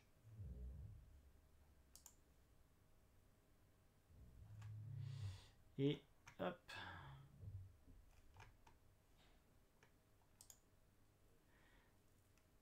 Pour l'instant, vous n'avez pas la visu, c'est le port numéro tac, tac, tac, 27. Non, 27 euh, Non, pas 27. 25 Ouais, c'est ça, 25. Alors, petite question, qu'est-ce que je pense Qu'est-ce que je pense du projet Asahi Linux pour Mac sur Apple Silicon? Tu penses que les M1 mini pour du serveur, ça vaudra la peine? Euh, bonne soirée à toi, petit pantarou. Et à bientôt. Euh, qu'est-ce que j'en pense? Euh, Alors, je trouve que c'est une excellente idée de projet. parce que pour moi, c'est un moyen de montrer une chose. C'est que on a beau, comment dire, un constructeur a beau vouloir fermer son, euh, son matériel à d'autres systèmes que celui qu'il a prévu, il y a toujours moyen de moyenner. Donc pour moi, ça, déjà, c'est la preuve que euh, les, euh, les, Mac en Apple Silicon ne sont pas aussi, comment dire, ne sont pas si invulnérables qu'ils pourraient en avoir l'air. Donc ça, dans l'esprit, c'est c'est en gros, je trouve que c'est une excellente idée. Maintenant, effectivement, comme le dit Chavenet, euh, tout n'est pas encore fonctionnel. Alors, personnellement, j'ai pas essayé, tout simplement parce qu'à titre perso, je n'ai pas de Mac à Apple Silicon. Euh, et euh, et je, je n'ai pas prévu d'en avoir. À titre personnel, j'entends. Hein. maintenant, maintenant c'est vrai que, étant, donné, étant donné la spécificité du matériel, ça va pas être, euh, ça va pas être évident pour que tout soit, soit fonctionnel.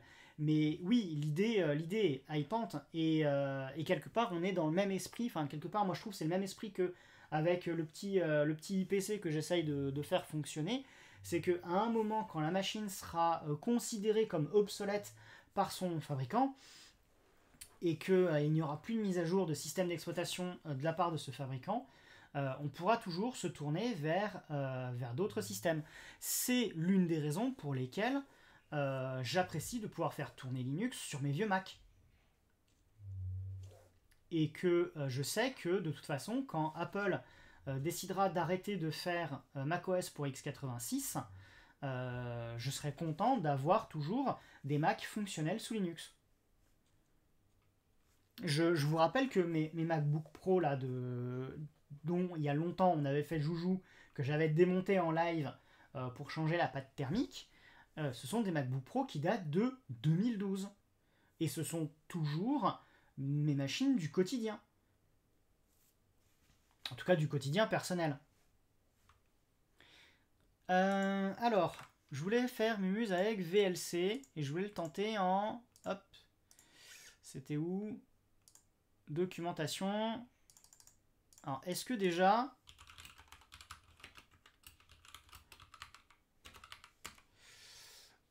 Ouais, ok, j'ai la lib qui est installée. Donc, normalement, ça devrait passer.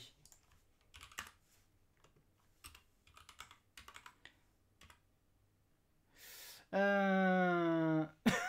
ah, ah, ça fonctionne. Ah, je suis... Ah, je suis refait. Je suis refait.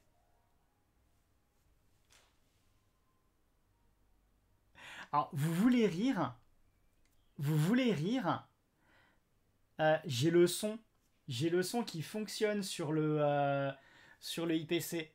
J'avais les petits piou-piou. Bon, alors c'est complètement illisible, donc je vais... Oh là Ah, il a pas aimé, hein. More than 5 seconds of late video dropping frame, computer too slow. Ok. Bon, ça c'est peut-être aussi parce que c'est du H264. Hein. Euh, color ASCII art, euh, probablement euh, Gizmo. C'est magnifique. Enfin, c'était. Ouais, c'était. Euh, hop là.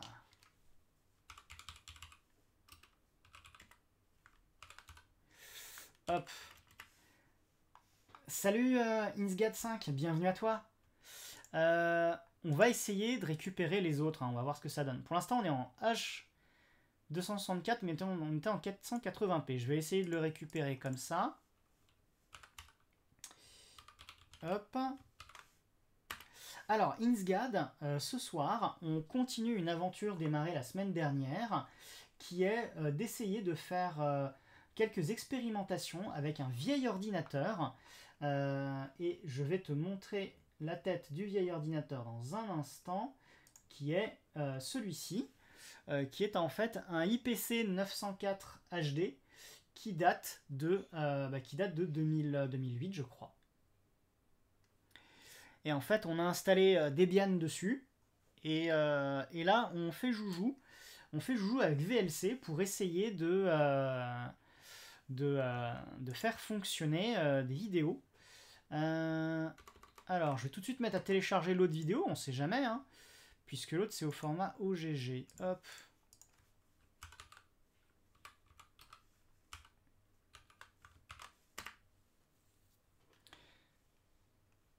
Et je voulais voir un peu où ça en était au niveau du trafic de mon interface réseau sur le Switch. Oui, Debian 12, tout à fait.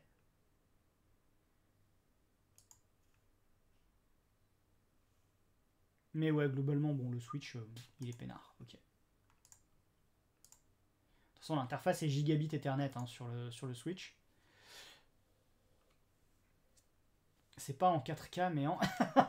pas mal, lapin féroce. Pas mal lapin féroce. Et alors, qu'est-ce que nous raconte Chavenet Tant que la loi de Wirth ne s'applique pas à Linux et BSD, on pourra toujours utiliser des PC de plus de 10 ans. Je ne connais pas cette loi, euh, Chavenet, et je veux bien que tu m'apprennes un truc. Raconte-moi. Enrichis-nous ce soir, Chavenet. Non pas... Enfin, tu le fais toujours d'habitude, mais euh, enrichis-nous d'un truc en plus. Euh, allons-y. On va reprendre. Euh, j'ai ouvert trop de trucs.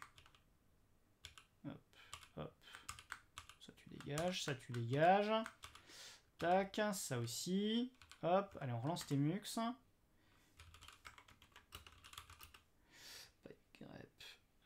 VLC. Tac. PDP Maker, on n'a pas le même référentiel quand on parle de old computer. Oui, alors pour l'anecdote, pour celles et ceux qui n'ont toujours pas euh, follow PDP Maker, notre ami PDP Maker, lui, euh, sur sa chaîne Twitch, il est en train de refabriquer un PDP 11, hein, si je dis pas de bêtises. J'hésitais entre le 7 et le 11, mais c'est bien un PDP 11. Et donc, ben, euh, entre une machine de 2008-2009 et un PDP 11, euh, c'est clair qu'il y a quand même quelques décennies de différence. Sauf que toi, PDP Maker, tu ne vas pas essayer de faire tourner un Linux moderne sur ton PDP 11 tu feras, si tu feras tourner le Unix de 1970, euh, ce sera peut-être pas mal.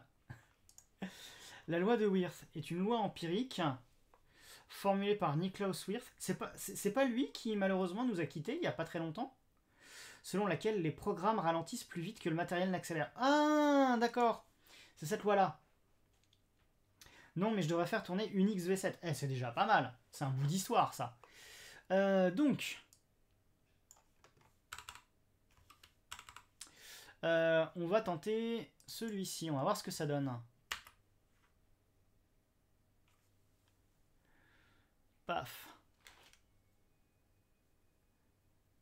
Donc ça marche toujours pour l'instant. Donc il arrive à lire la vidéo. Moi j'ai le son à côté. Je vais lancer un top à côté juste pour voir à quel point la machine elle est... Euh, ok. Et si je lance un h top... 1.25. Le CPU, bien entendu, il est euh, à fond. C'est moi ou c'est un peu plus fluide?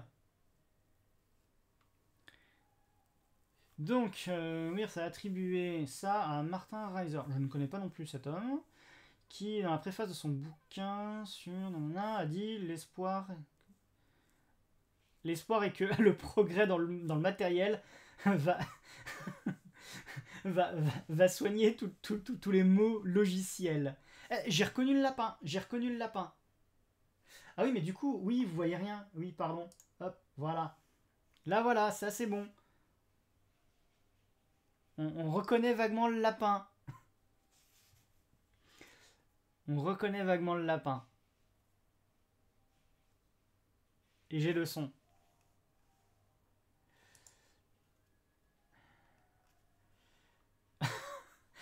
je, refuse de lire ton commentaire, Lapin Féroce.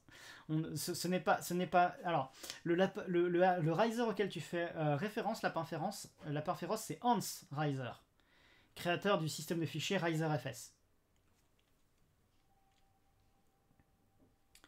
Ok, alors je vais couper ça, si ça veut bien.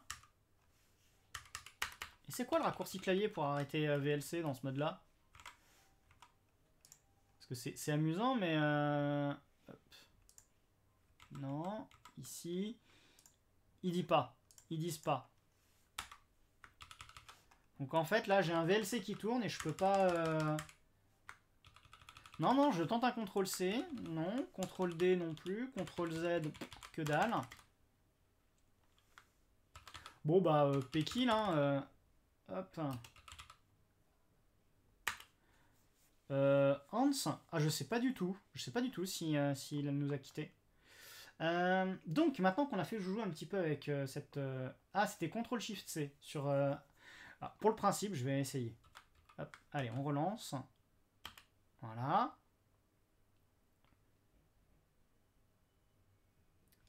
Et ensuite, CTRL SHIFT C, non. Et CTRL ALT C, non plus. Non plus. Bon, allez hop, Pékin. Et on va essayer avec celui en OGG, tiens. Normalement, ça devrait tourner aussi. Ça tourne aussi. Si Hans n'est plus, Wikipédia n'a pas encore l'info. Ok. Donc a priori, Hans n'est pas bronsonisé. Alors pour celles et ceux qui se demandent pourquoi je viens de dire bronsonisé, ah, j'ai reconnu le, j'ai reconnu le piaf. Euh, c'est juste un peu de, euh, de, folklore de linuxaffaires.org. Normalement, si vous allez sur linuxaffaires.org et vous, que vous tapez euh, dans un moteur, enfin la recherche bronsonisation, en particulier dans le wiki, vous devriez trouver, ce folklore, c'est bah, grosso modo bah, mourir quoi. très bien. Maintenant qu'on l'a fait avec la lib, la lib dont je refuse de dire le nom, on va, on va repasser sur cette vue là. Et on va tenter de lancer VLC. Alors, Sound and Video VLC. Alors vous allez, vous risquez pas de voir grand chose malheureusement. Euh, Open file. Voilà. Et je vais le tenter d'abord en H264. Hein, on va voir ce que ça va donner. Et moi, je vais regarder HTOP pendant ce temps. Hop. On est à une load à 1,88.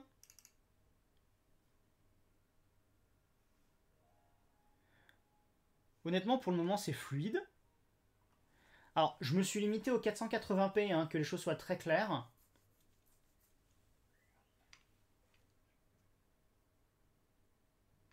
C'est qu'en plus, de temps en temps, vous arrivez à voir. Alors maintenant, on va tenter l'expérience ultime. Je vais tenter de peut-être de euh, d'avancer euh, dans le film rapidement.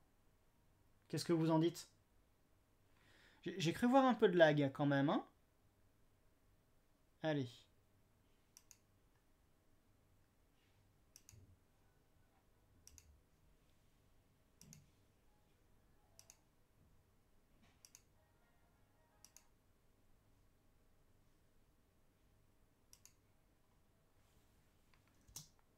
Ok.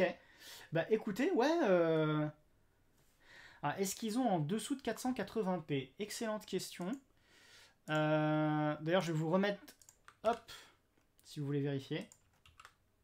Ah mais Chavenet, euh, Hans, à mon avis, malheureusement, il... Enfin malheureusement. Je...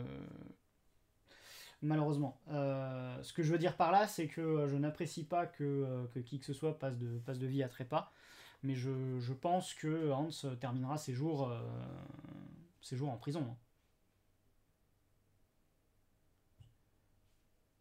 Il me semble que le premier lien est en moins. Euh, parce que là, en fait, j'ai. Ah oui, c'est un 320 par 180. Mais ce, que je suis en train de me dire là, c'est que vu que le 480p a l'air fluide en H264, euh, ouais, 180 et 360p pour les deux premiers, je pense que c'est ça. Mais je me demande, vu que c'est à, peu près fluide quand même, euh, est-ce que je tenterais pas du 720p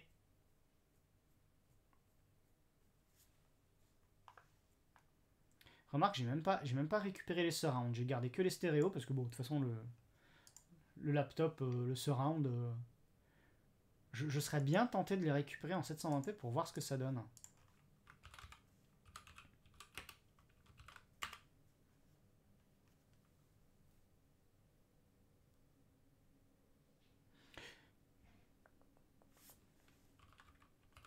Et pendant ce temps, la machine, elle continue euh, sans problème. Hein. Vous voyez, là, j'ai le, VLC qui est en pause.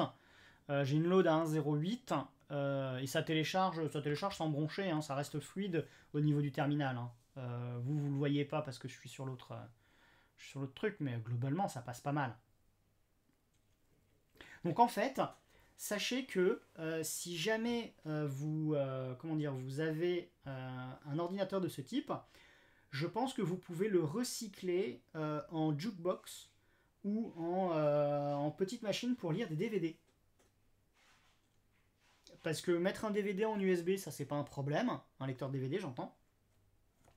Et, euh, je pense que, ou même lire des, petites vidéos, pour peu que vous les laissiez pas plus haut que 480p dans, dans l'immédiat, on va, on va voir ce que donne le 720p. À mon avis, le, 180 et le 360, ça va passer crème. On pourra les essayer après si tu veux, eux. Mais je pense que ça va passer crème. en fait, le gros problème avec cette machine, ça va être le web moderne. Parce que euh, je suis pas sûr qu'il y ait. Euh, je suis pas sûr que Chrome ou Chromium soit dispo sur. Euh, sur i386.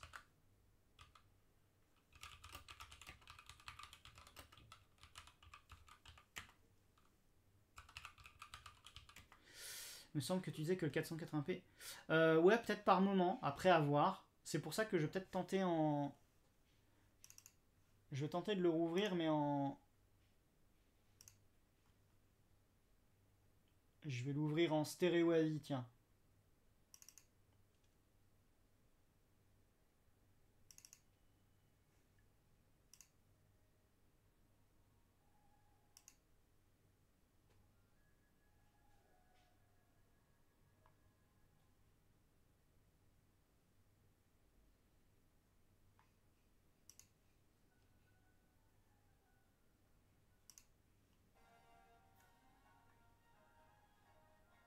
Bon, ça a l'air de passer, hein. Franchement, euh, ça a l'air de passer.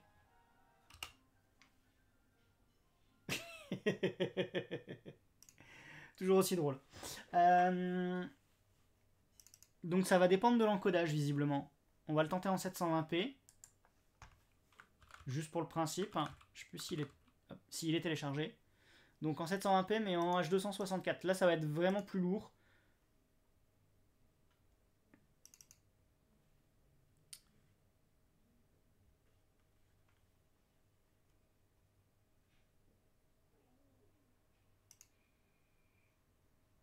Oh là ouais, ouais, le 720p en H264, c'est... Euh... Vous voyez, là, là regardez, j'ai droppé de la frame, hein, ça s'est vu. Ça, ça, se voit bien, bien, bien. Euh, donc ça, c'est en H264. Alors, pour avoir des chances de lire du 1080p en H265... Ah oui, parce que... Alors moi, j'ai un Raspberry Pi 3B+. J'arrive à lire du 1080p en H264. Par contre, le H265, c'est mort. Là, il n'y euh, arrive pas. Euh, je voulais prendre le 720p stéréo.avi. Tac.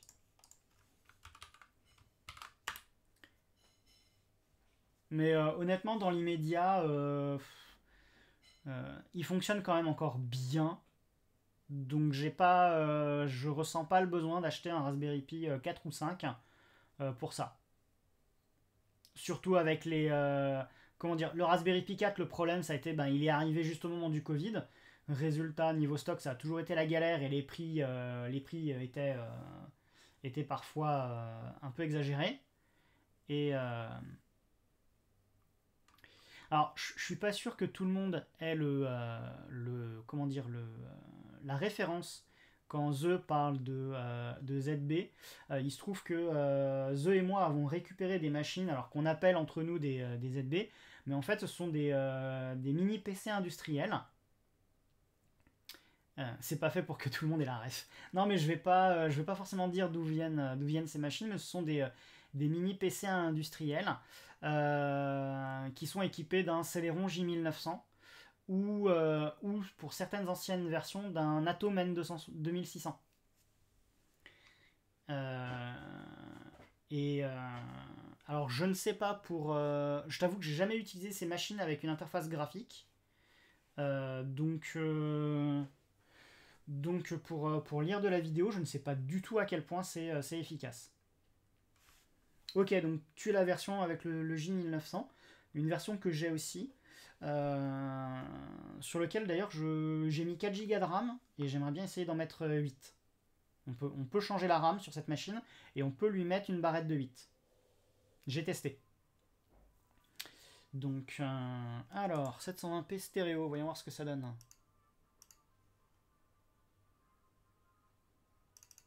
Est-ce que c'est un peu plus fluide? Oh, c'est moche. Oh, ça, ça bavouille. Ça bavouille ici, sur la droite. Est-ce que... Euh, Alors, si je passe en full screen...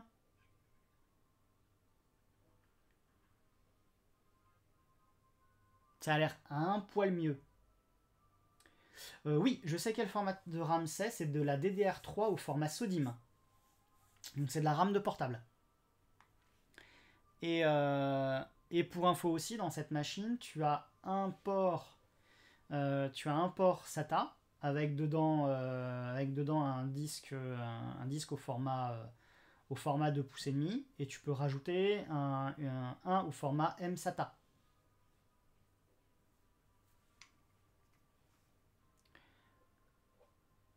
Donc chercher dans mes portables HS. Potentiellement, ouais. Bah écoutez, le 720p, euh, si c'est pas du H264, ça a l'air de passer. Euh, je vais quand même vouloir jeter un œil sur...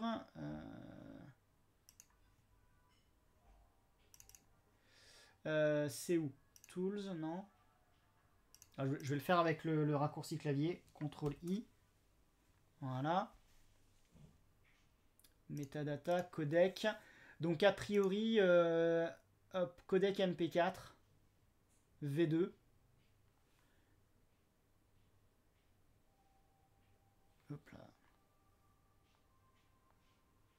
Avec un framerate à 24 images secondes.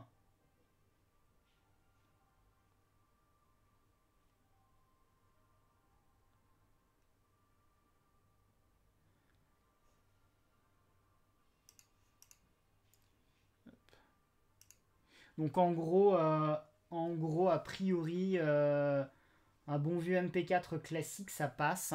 Par contre, en H264, il vaut mieux, euh, il vaut mieux rester en 480p. on, va essayer, on va essayer le 640 par 360. À mon avis, ça va être ultra fluide.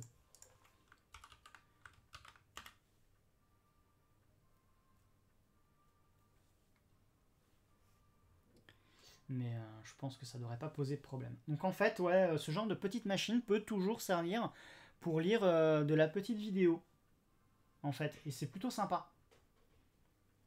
On peut, on peut en faire un petit jukebox ou charger, je sais pas moi, des, dessins animés pour, pour un gamin qui n'a pas besoin d'un écran 4K pour regarder, pour regarder des dessins animés.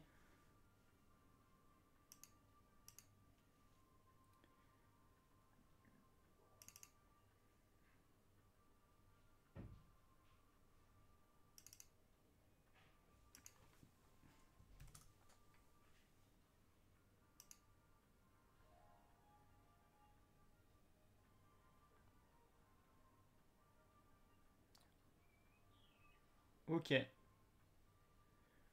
MPEG 4 AVC par 10.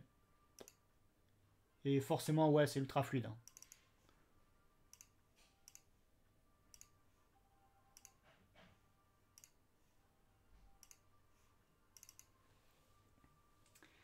C'est ça, Jukebox MP3 avec un player. Ouais, exactement.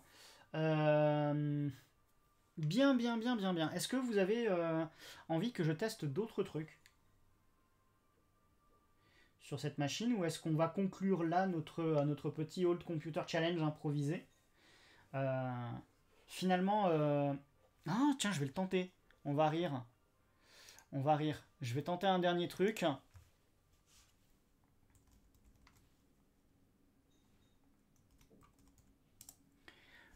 On va aller chercher Big Bug Bunny sur, YouTube. On va voir à quel point la machine s'en sort. Ou plutôt s'en sort pas en fait. Donc déjà, pour aller charger YouTube. Pour regarder Twitch, ça le fait. Euh, tu vas me dire que tu regardes Twitch sur un. Euh, sur une machine de ce type Oh punaise. Oh la page, la page YouTube, mais le temps qu'elle met à charger.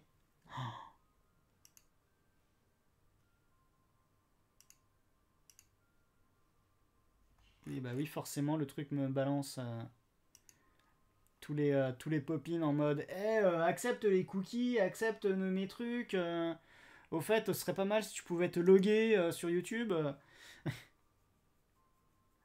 Est-ce que ça pourrait passer? Honnêtement, je suis perplexe.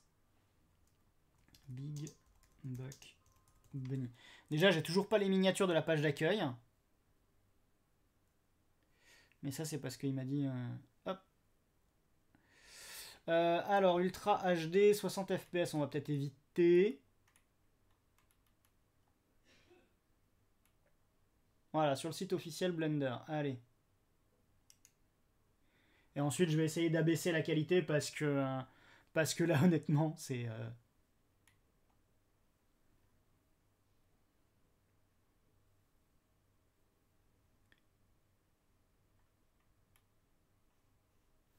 Ah la pauvre machine. 2,59 de load, le CPU à 100%.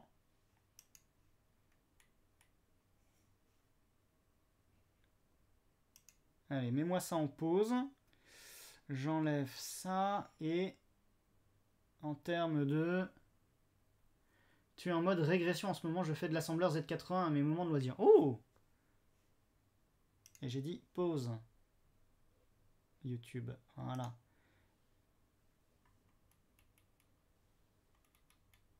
Qualité, auto.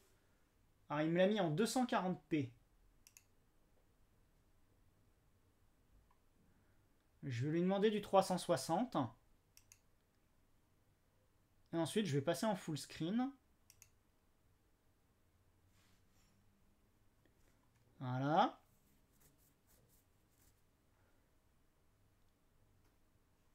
Oh, le pauvre. Oh, il en peut plus, hein. 3.18 de load. Donc même, même avec une, euh, comment dire, même avec une, euh, une, définition qui est quand même assez basse, euh, YouTube avec un... Ah oui, je voulais, regarder ça, s'il n'y avait pas. S'il avait pas du Chromium qui était dispo pour, pour comparer.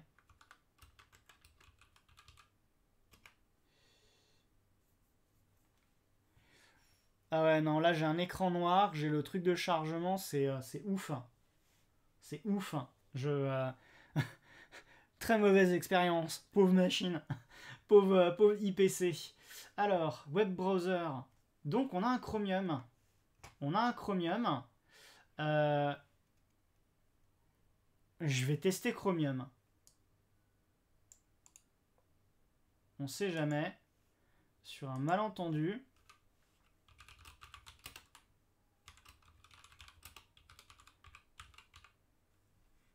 Allez, je, vais, arrêter là la souffrance du pauvre... Euh, du pauvre Firefox.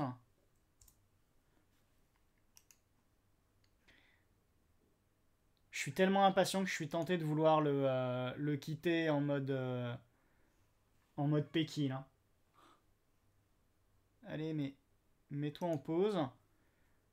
Je cherche juste à abréger tes souffrances. Le pauvre. Le pauvre.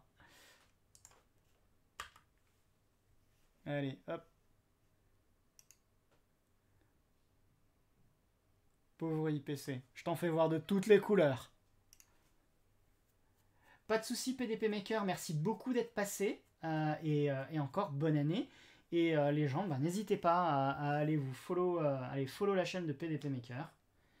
si jamais vous avez envie de voir Pecky, l'euthanasie assistée, ouais, c'est un peu ça. Mais non, là, c'est bon. C'est bon, il a, il a réussi à... Allez, pendant ce temps, il télécharge Chromium. Je suis assez surpris d'avoir euh, d'avoir Chromium dans les... Euh, dans les repos euh, main en plus.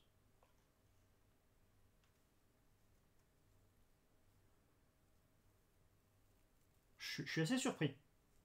Mais euh, bon. Là par contre il a... Euh, ah, le, le, pauvre... Chromium c'est quand même un peu lourd à installer j'imagine. Je vais vous montrer ça. Hop là. Parce que la machine est encore une lotte de 3. Mais bon, c'est peut-être le temps de... Oups là. Alors pardon pour ça.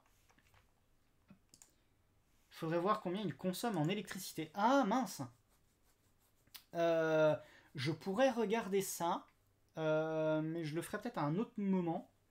Euh, parce que j'ai débranché justement le... le j'ai débranché le wattmètre. justement, je l'ai débranché aujourd'hui. Alors, il en est où? Il a fini, lui Ouais, il a fini. Ok, allez, on va revenir sur cette vue-là. Hop, alors, Internet, Chromium Web Browser, et donc c'est bien le Chromium de chez Google. alors, je vais vous le lire parce que je pense que vous n'arrivez pas à le voir. Cette page, elle dit quoi? Elle dit que ce, disent, c'est un X-message If the hardware on this system lacks support for the SSE3 instruction set, donc il manque SSE3 sur ce CPU, J'ai envie de dire cool, cool story, je m'en doutais pas. the Upstream Chromium Project no longer supports this configuration. Ouais, ok, c'est dommage. Et pour plus d'informations, d'aller lire et d'aller rajouter des infos. a priori, il y a un truc qui s'appelle crbug.com avec un numéro. Donc ils ont un système de bug tracking. Donc en gros, il est possible que parce que ce processeur n'a pas le jeu d'instruction SSE3, euh, Chromium ne fonctionne pas correctement. Et en fait, j'ai comme l'impression même qu'il refuse de se lancer. Ah oui, parce qu'il me, il me, il me rebalance. Euh, ok. Bah en fait, euh,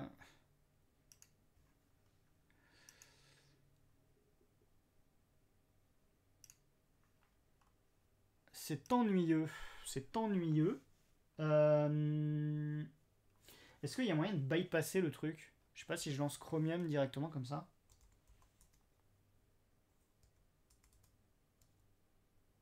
Non.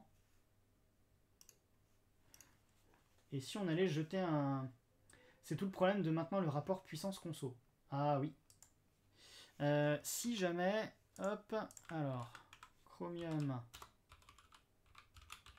I386 SSE3. Si on va chercher ces histoires-là.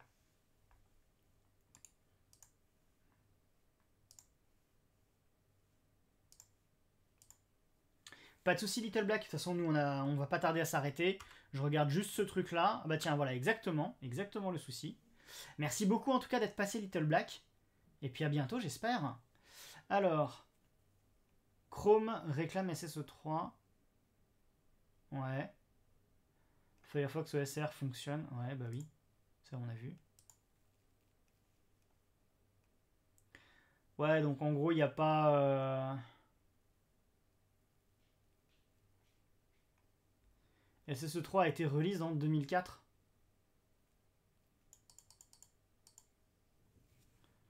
Ouais.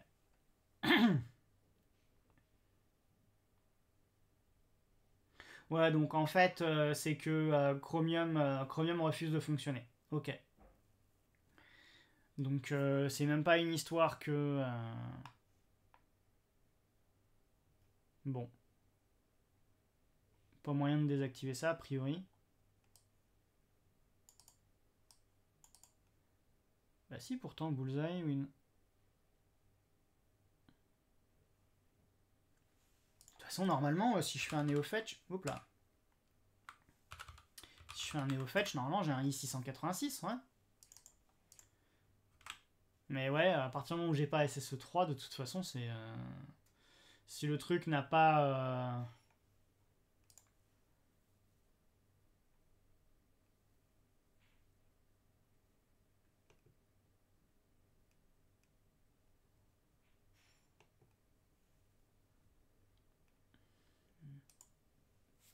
Et eux, qu'est-ce qu'ils racontent? Alors eux, ils parlaient de Debian Buster.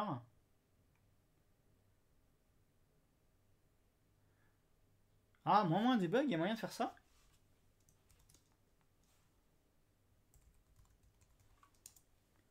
Non. J'aurais bien aimé outrepasser le truc, quitte à prendre des risques, mais... Euh,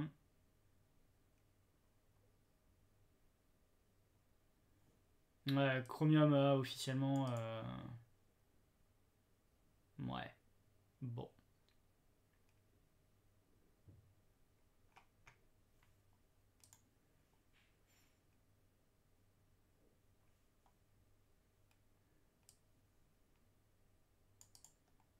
D'accord, ok, bon bah...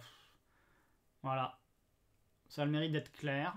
Euh, en gros, euh, le seul navigateur moderne maintenant qu'on a encore sur i385, sur i386, sur 32 bits, c'est euh, euh, Firefox. Il n'y a, pas que ça, hein, parce que j'avais installé Dilo euh, la semaine dernière, mais je ne sais pas si d'autres navigateurs qui ont, autant de fonctionnalités que, que Firefox seraient disponibles sur, sur plateforme 32 bits. Bref, on va s'arrêter là, je pense. Euh, je sais pas vous, mais moi je pense que j'ai fait le tour de cette, de cette, expérience. Je me suis bien amusé, j'espère que vous aussi. Euh, on, va euh, continuer ce début d'année, euh, comment dire, avec des streams uniquement les dimanches pour le moment. J'espère aussi que j'aurai fini de remettre, en état mon, PC, que j'aurai remis mes, petites, comment mes petites préférences sur, la machine pour pouvoir streamer dans de bonnes conditions. Est-ce qu'il n'y a pas un portage de navigateur Amiga? Je n'en ai pas la moindre idée. Aucune idée. Euh, ça pourrait être marrant de regarder ça à l'occasion. Je ne connais absolument pas euh, la plateforme ni la scène Amiga, donc euh, à, moins que, à moins que je demande à Emile peut-être.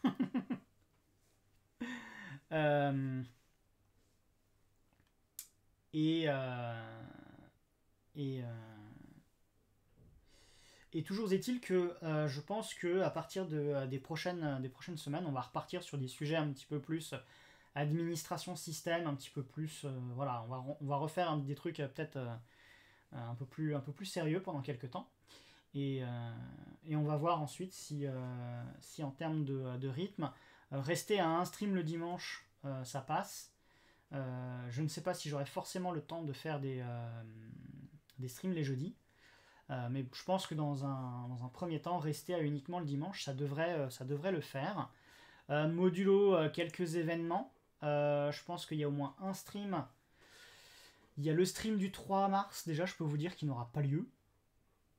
Enfin, qui n'aura pas lieu. je m'avance peut-être un peu, mais il y a des chances qu'il saute. Il y a d'autres streams. je peux déjà vous dire qu'il y aura par exemple un stream début juin qui sautera. Mais euh, voilà, on n'y est, pas encore. Je vous redirai ça en temps et en heure. Euh, comme, euh, comme depuis le milieu de l'année dernière, j'ai toujours les astreintes. si je dis pas de bêtises, la dimanche prochain, je devrais être en astreinte. Donc on fera un stream astreinte avec les, les risques que cela comporte, c'est-à-dire potentiellement que le stream soit interrompu inopinément. Voili, voilou. Euh, sinon, eh ben, ce sera toujours le dimanche de 18 à 20h et le pouce, visiblement, parce que j'arrive pas à démarrer à 18h pile. Et, euh, euh, il ne me reste plus qu'à vous souhaiter encore une fois une bonne année. J'espère vous revoir nombreux lors des nombreuses d'ailleurs et nombreux lors des prochains streams. Et on va se quitter normalement sur un raid. Euh, et je pense qu'on va aller voir l'ami Adrien. Donc, je vous souhaite une bonne soirée. Je vous donne rendez-vous la semaine prochaine. Et d'ici là, prenez soin de vous. Ciao, ciao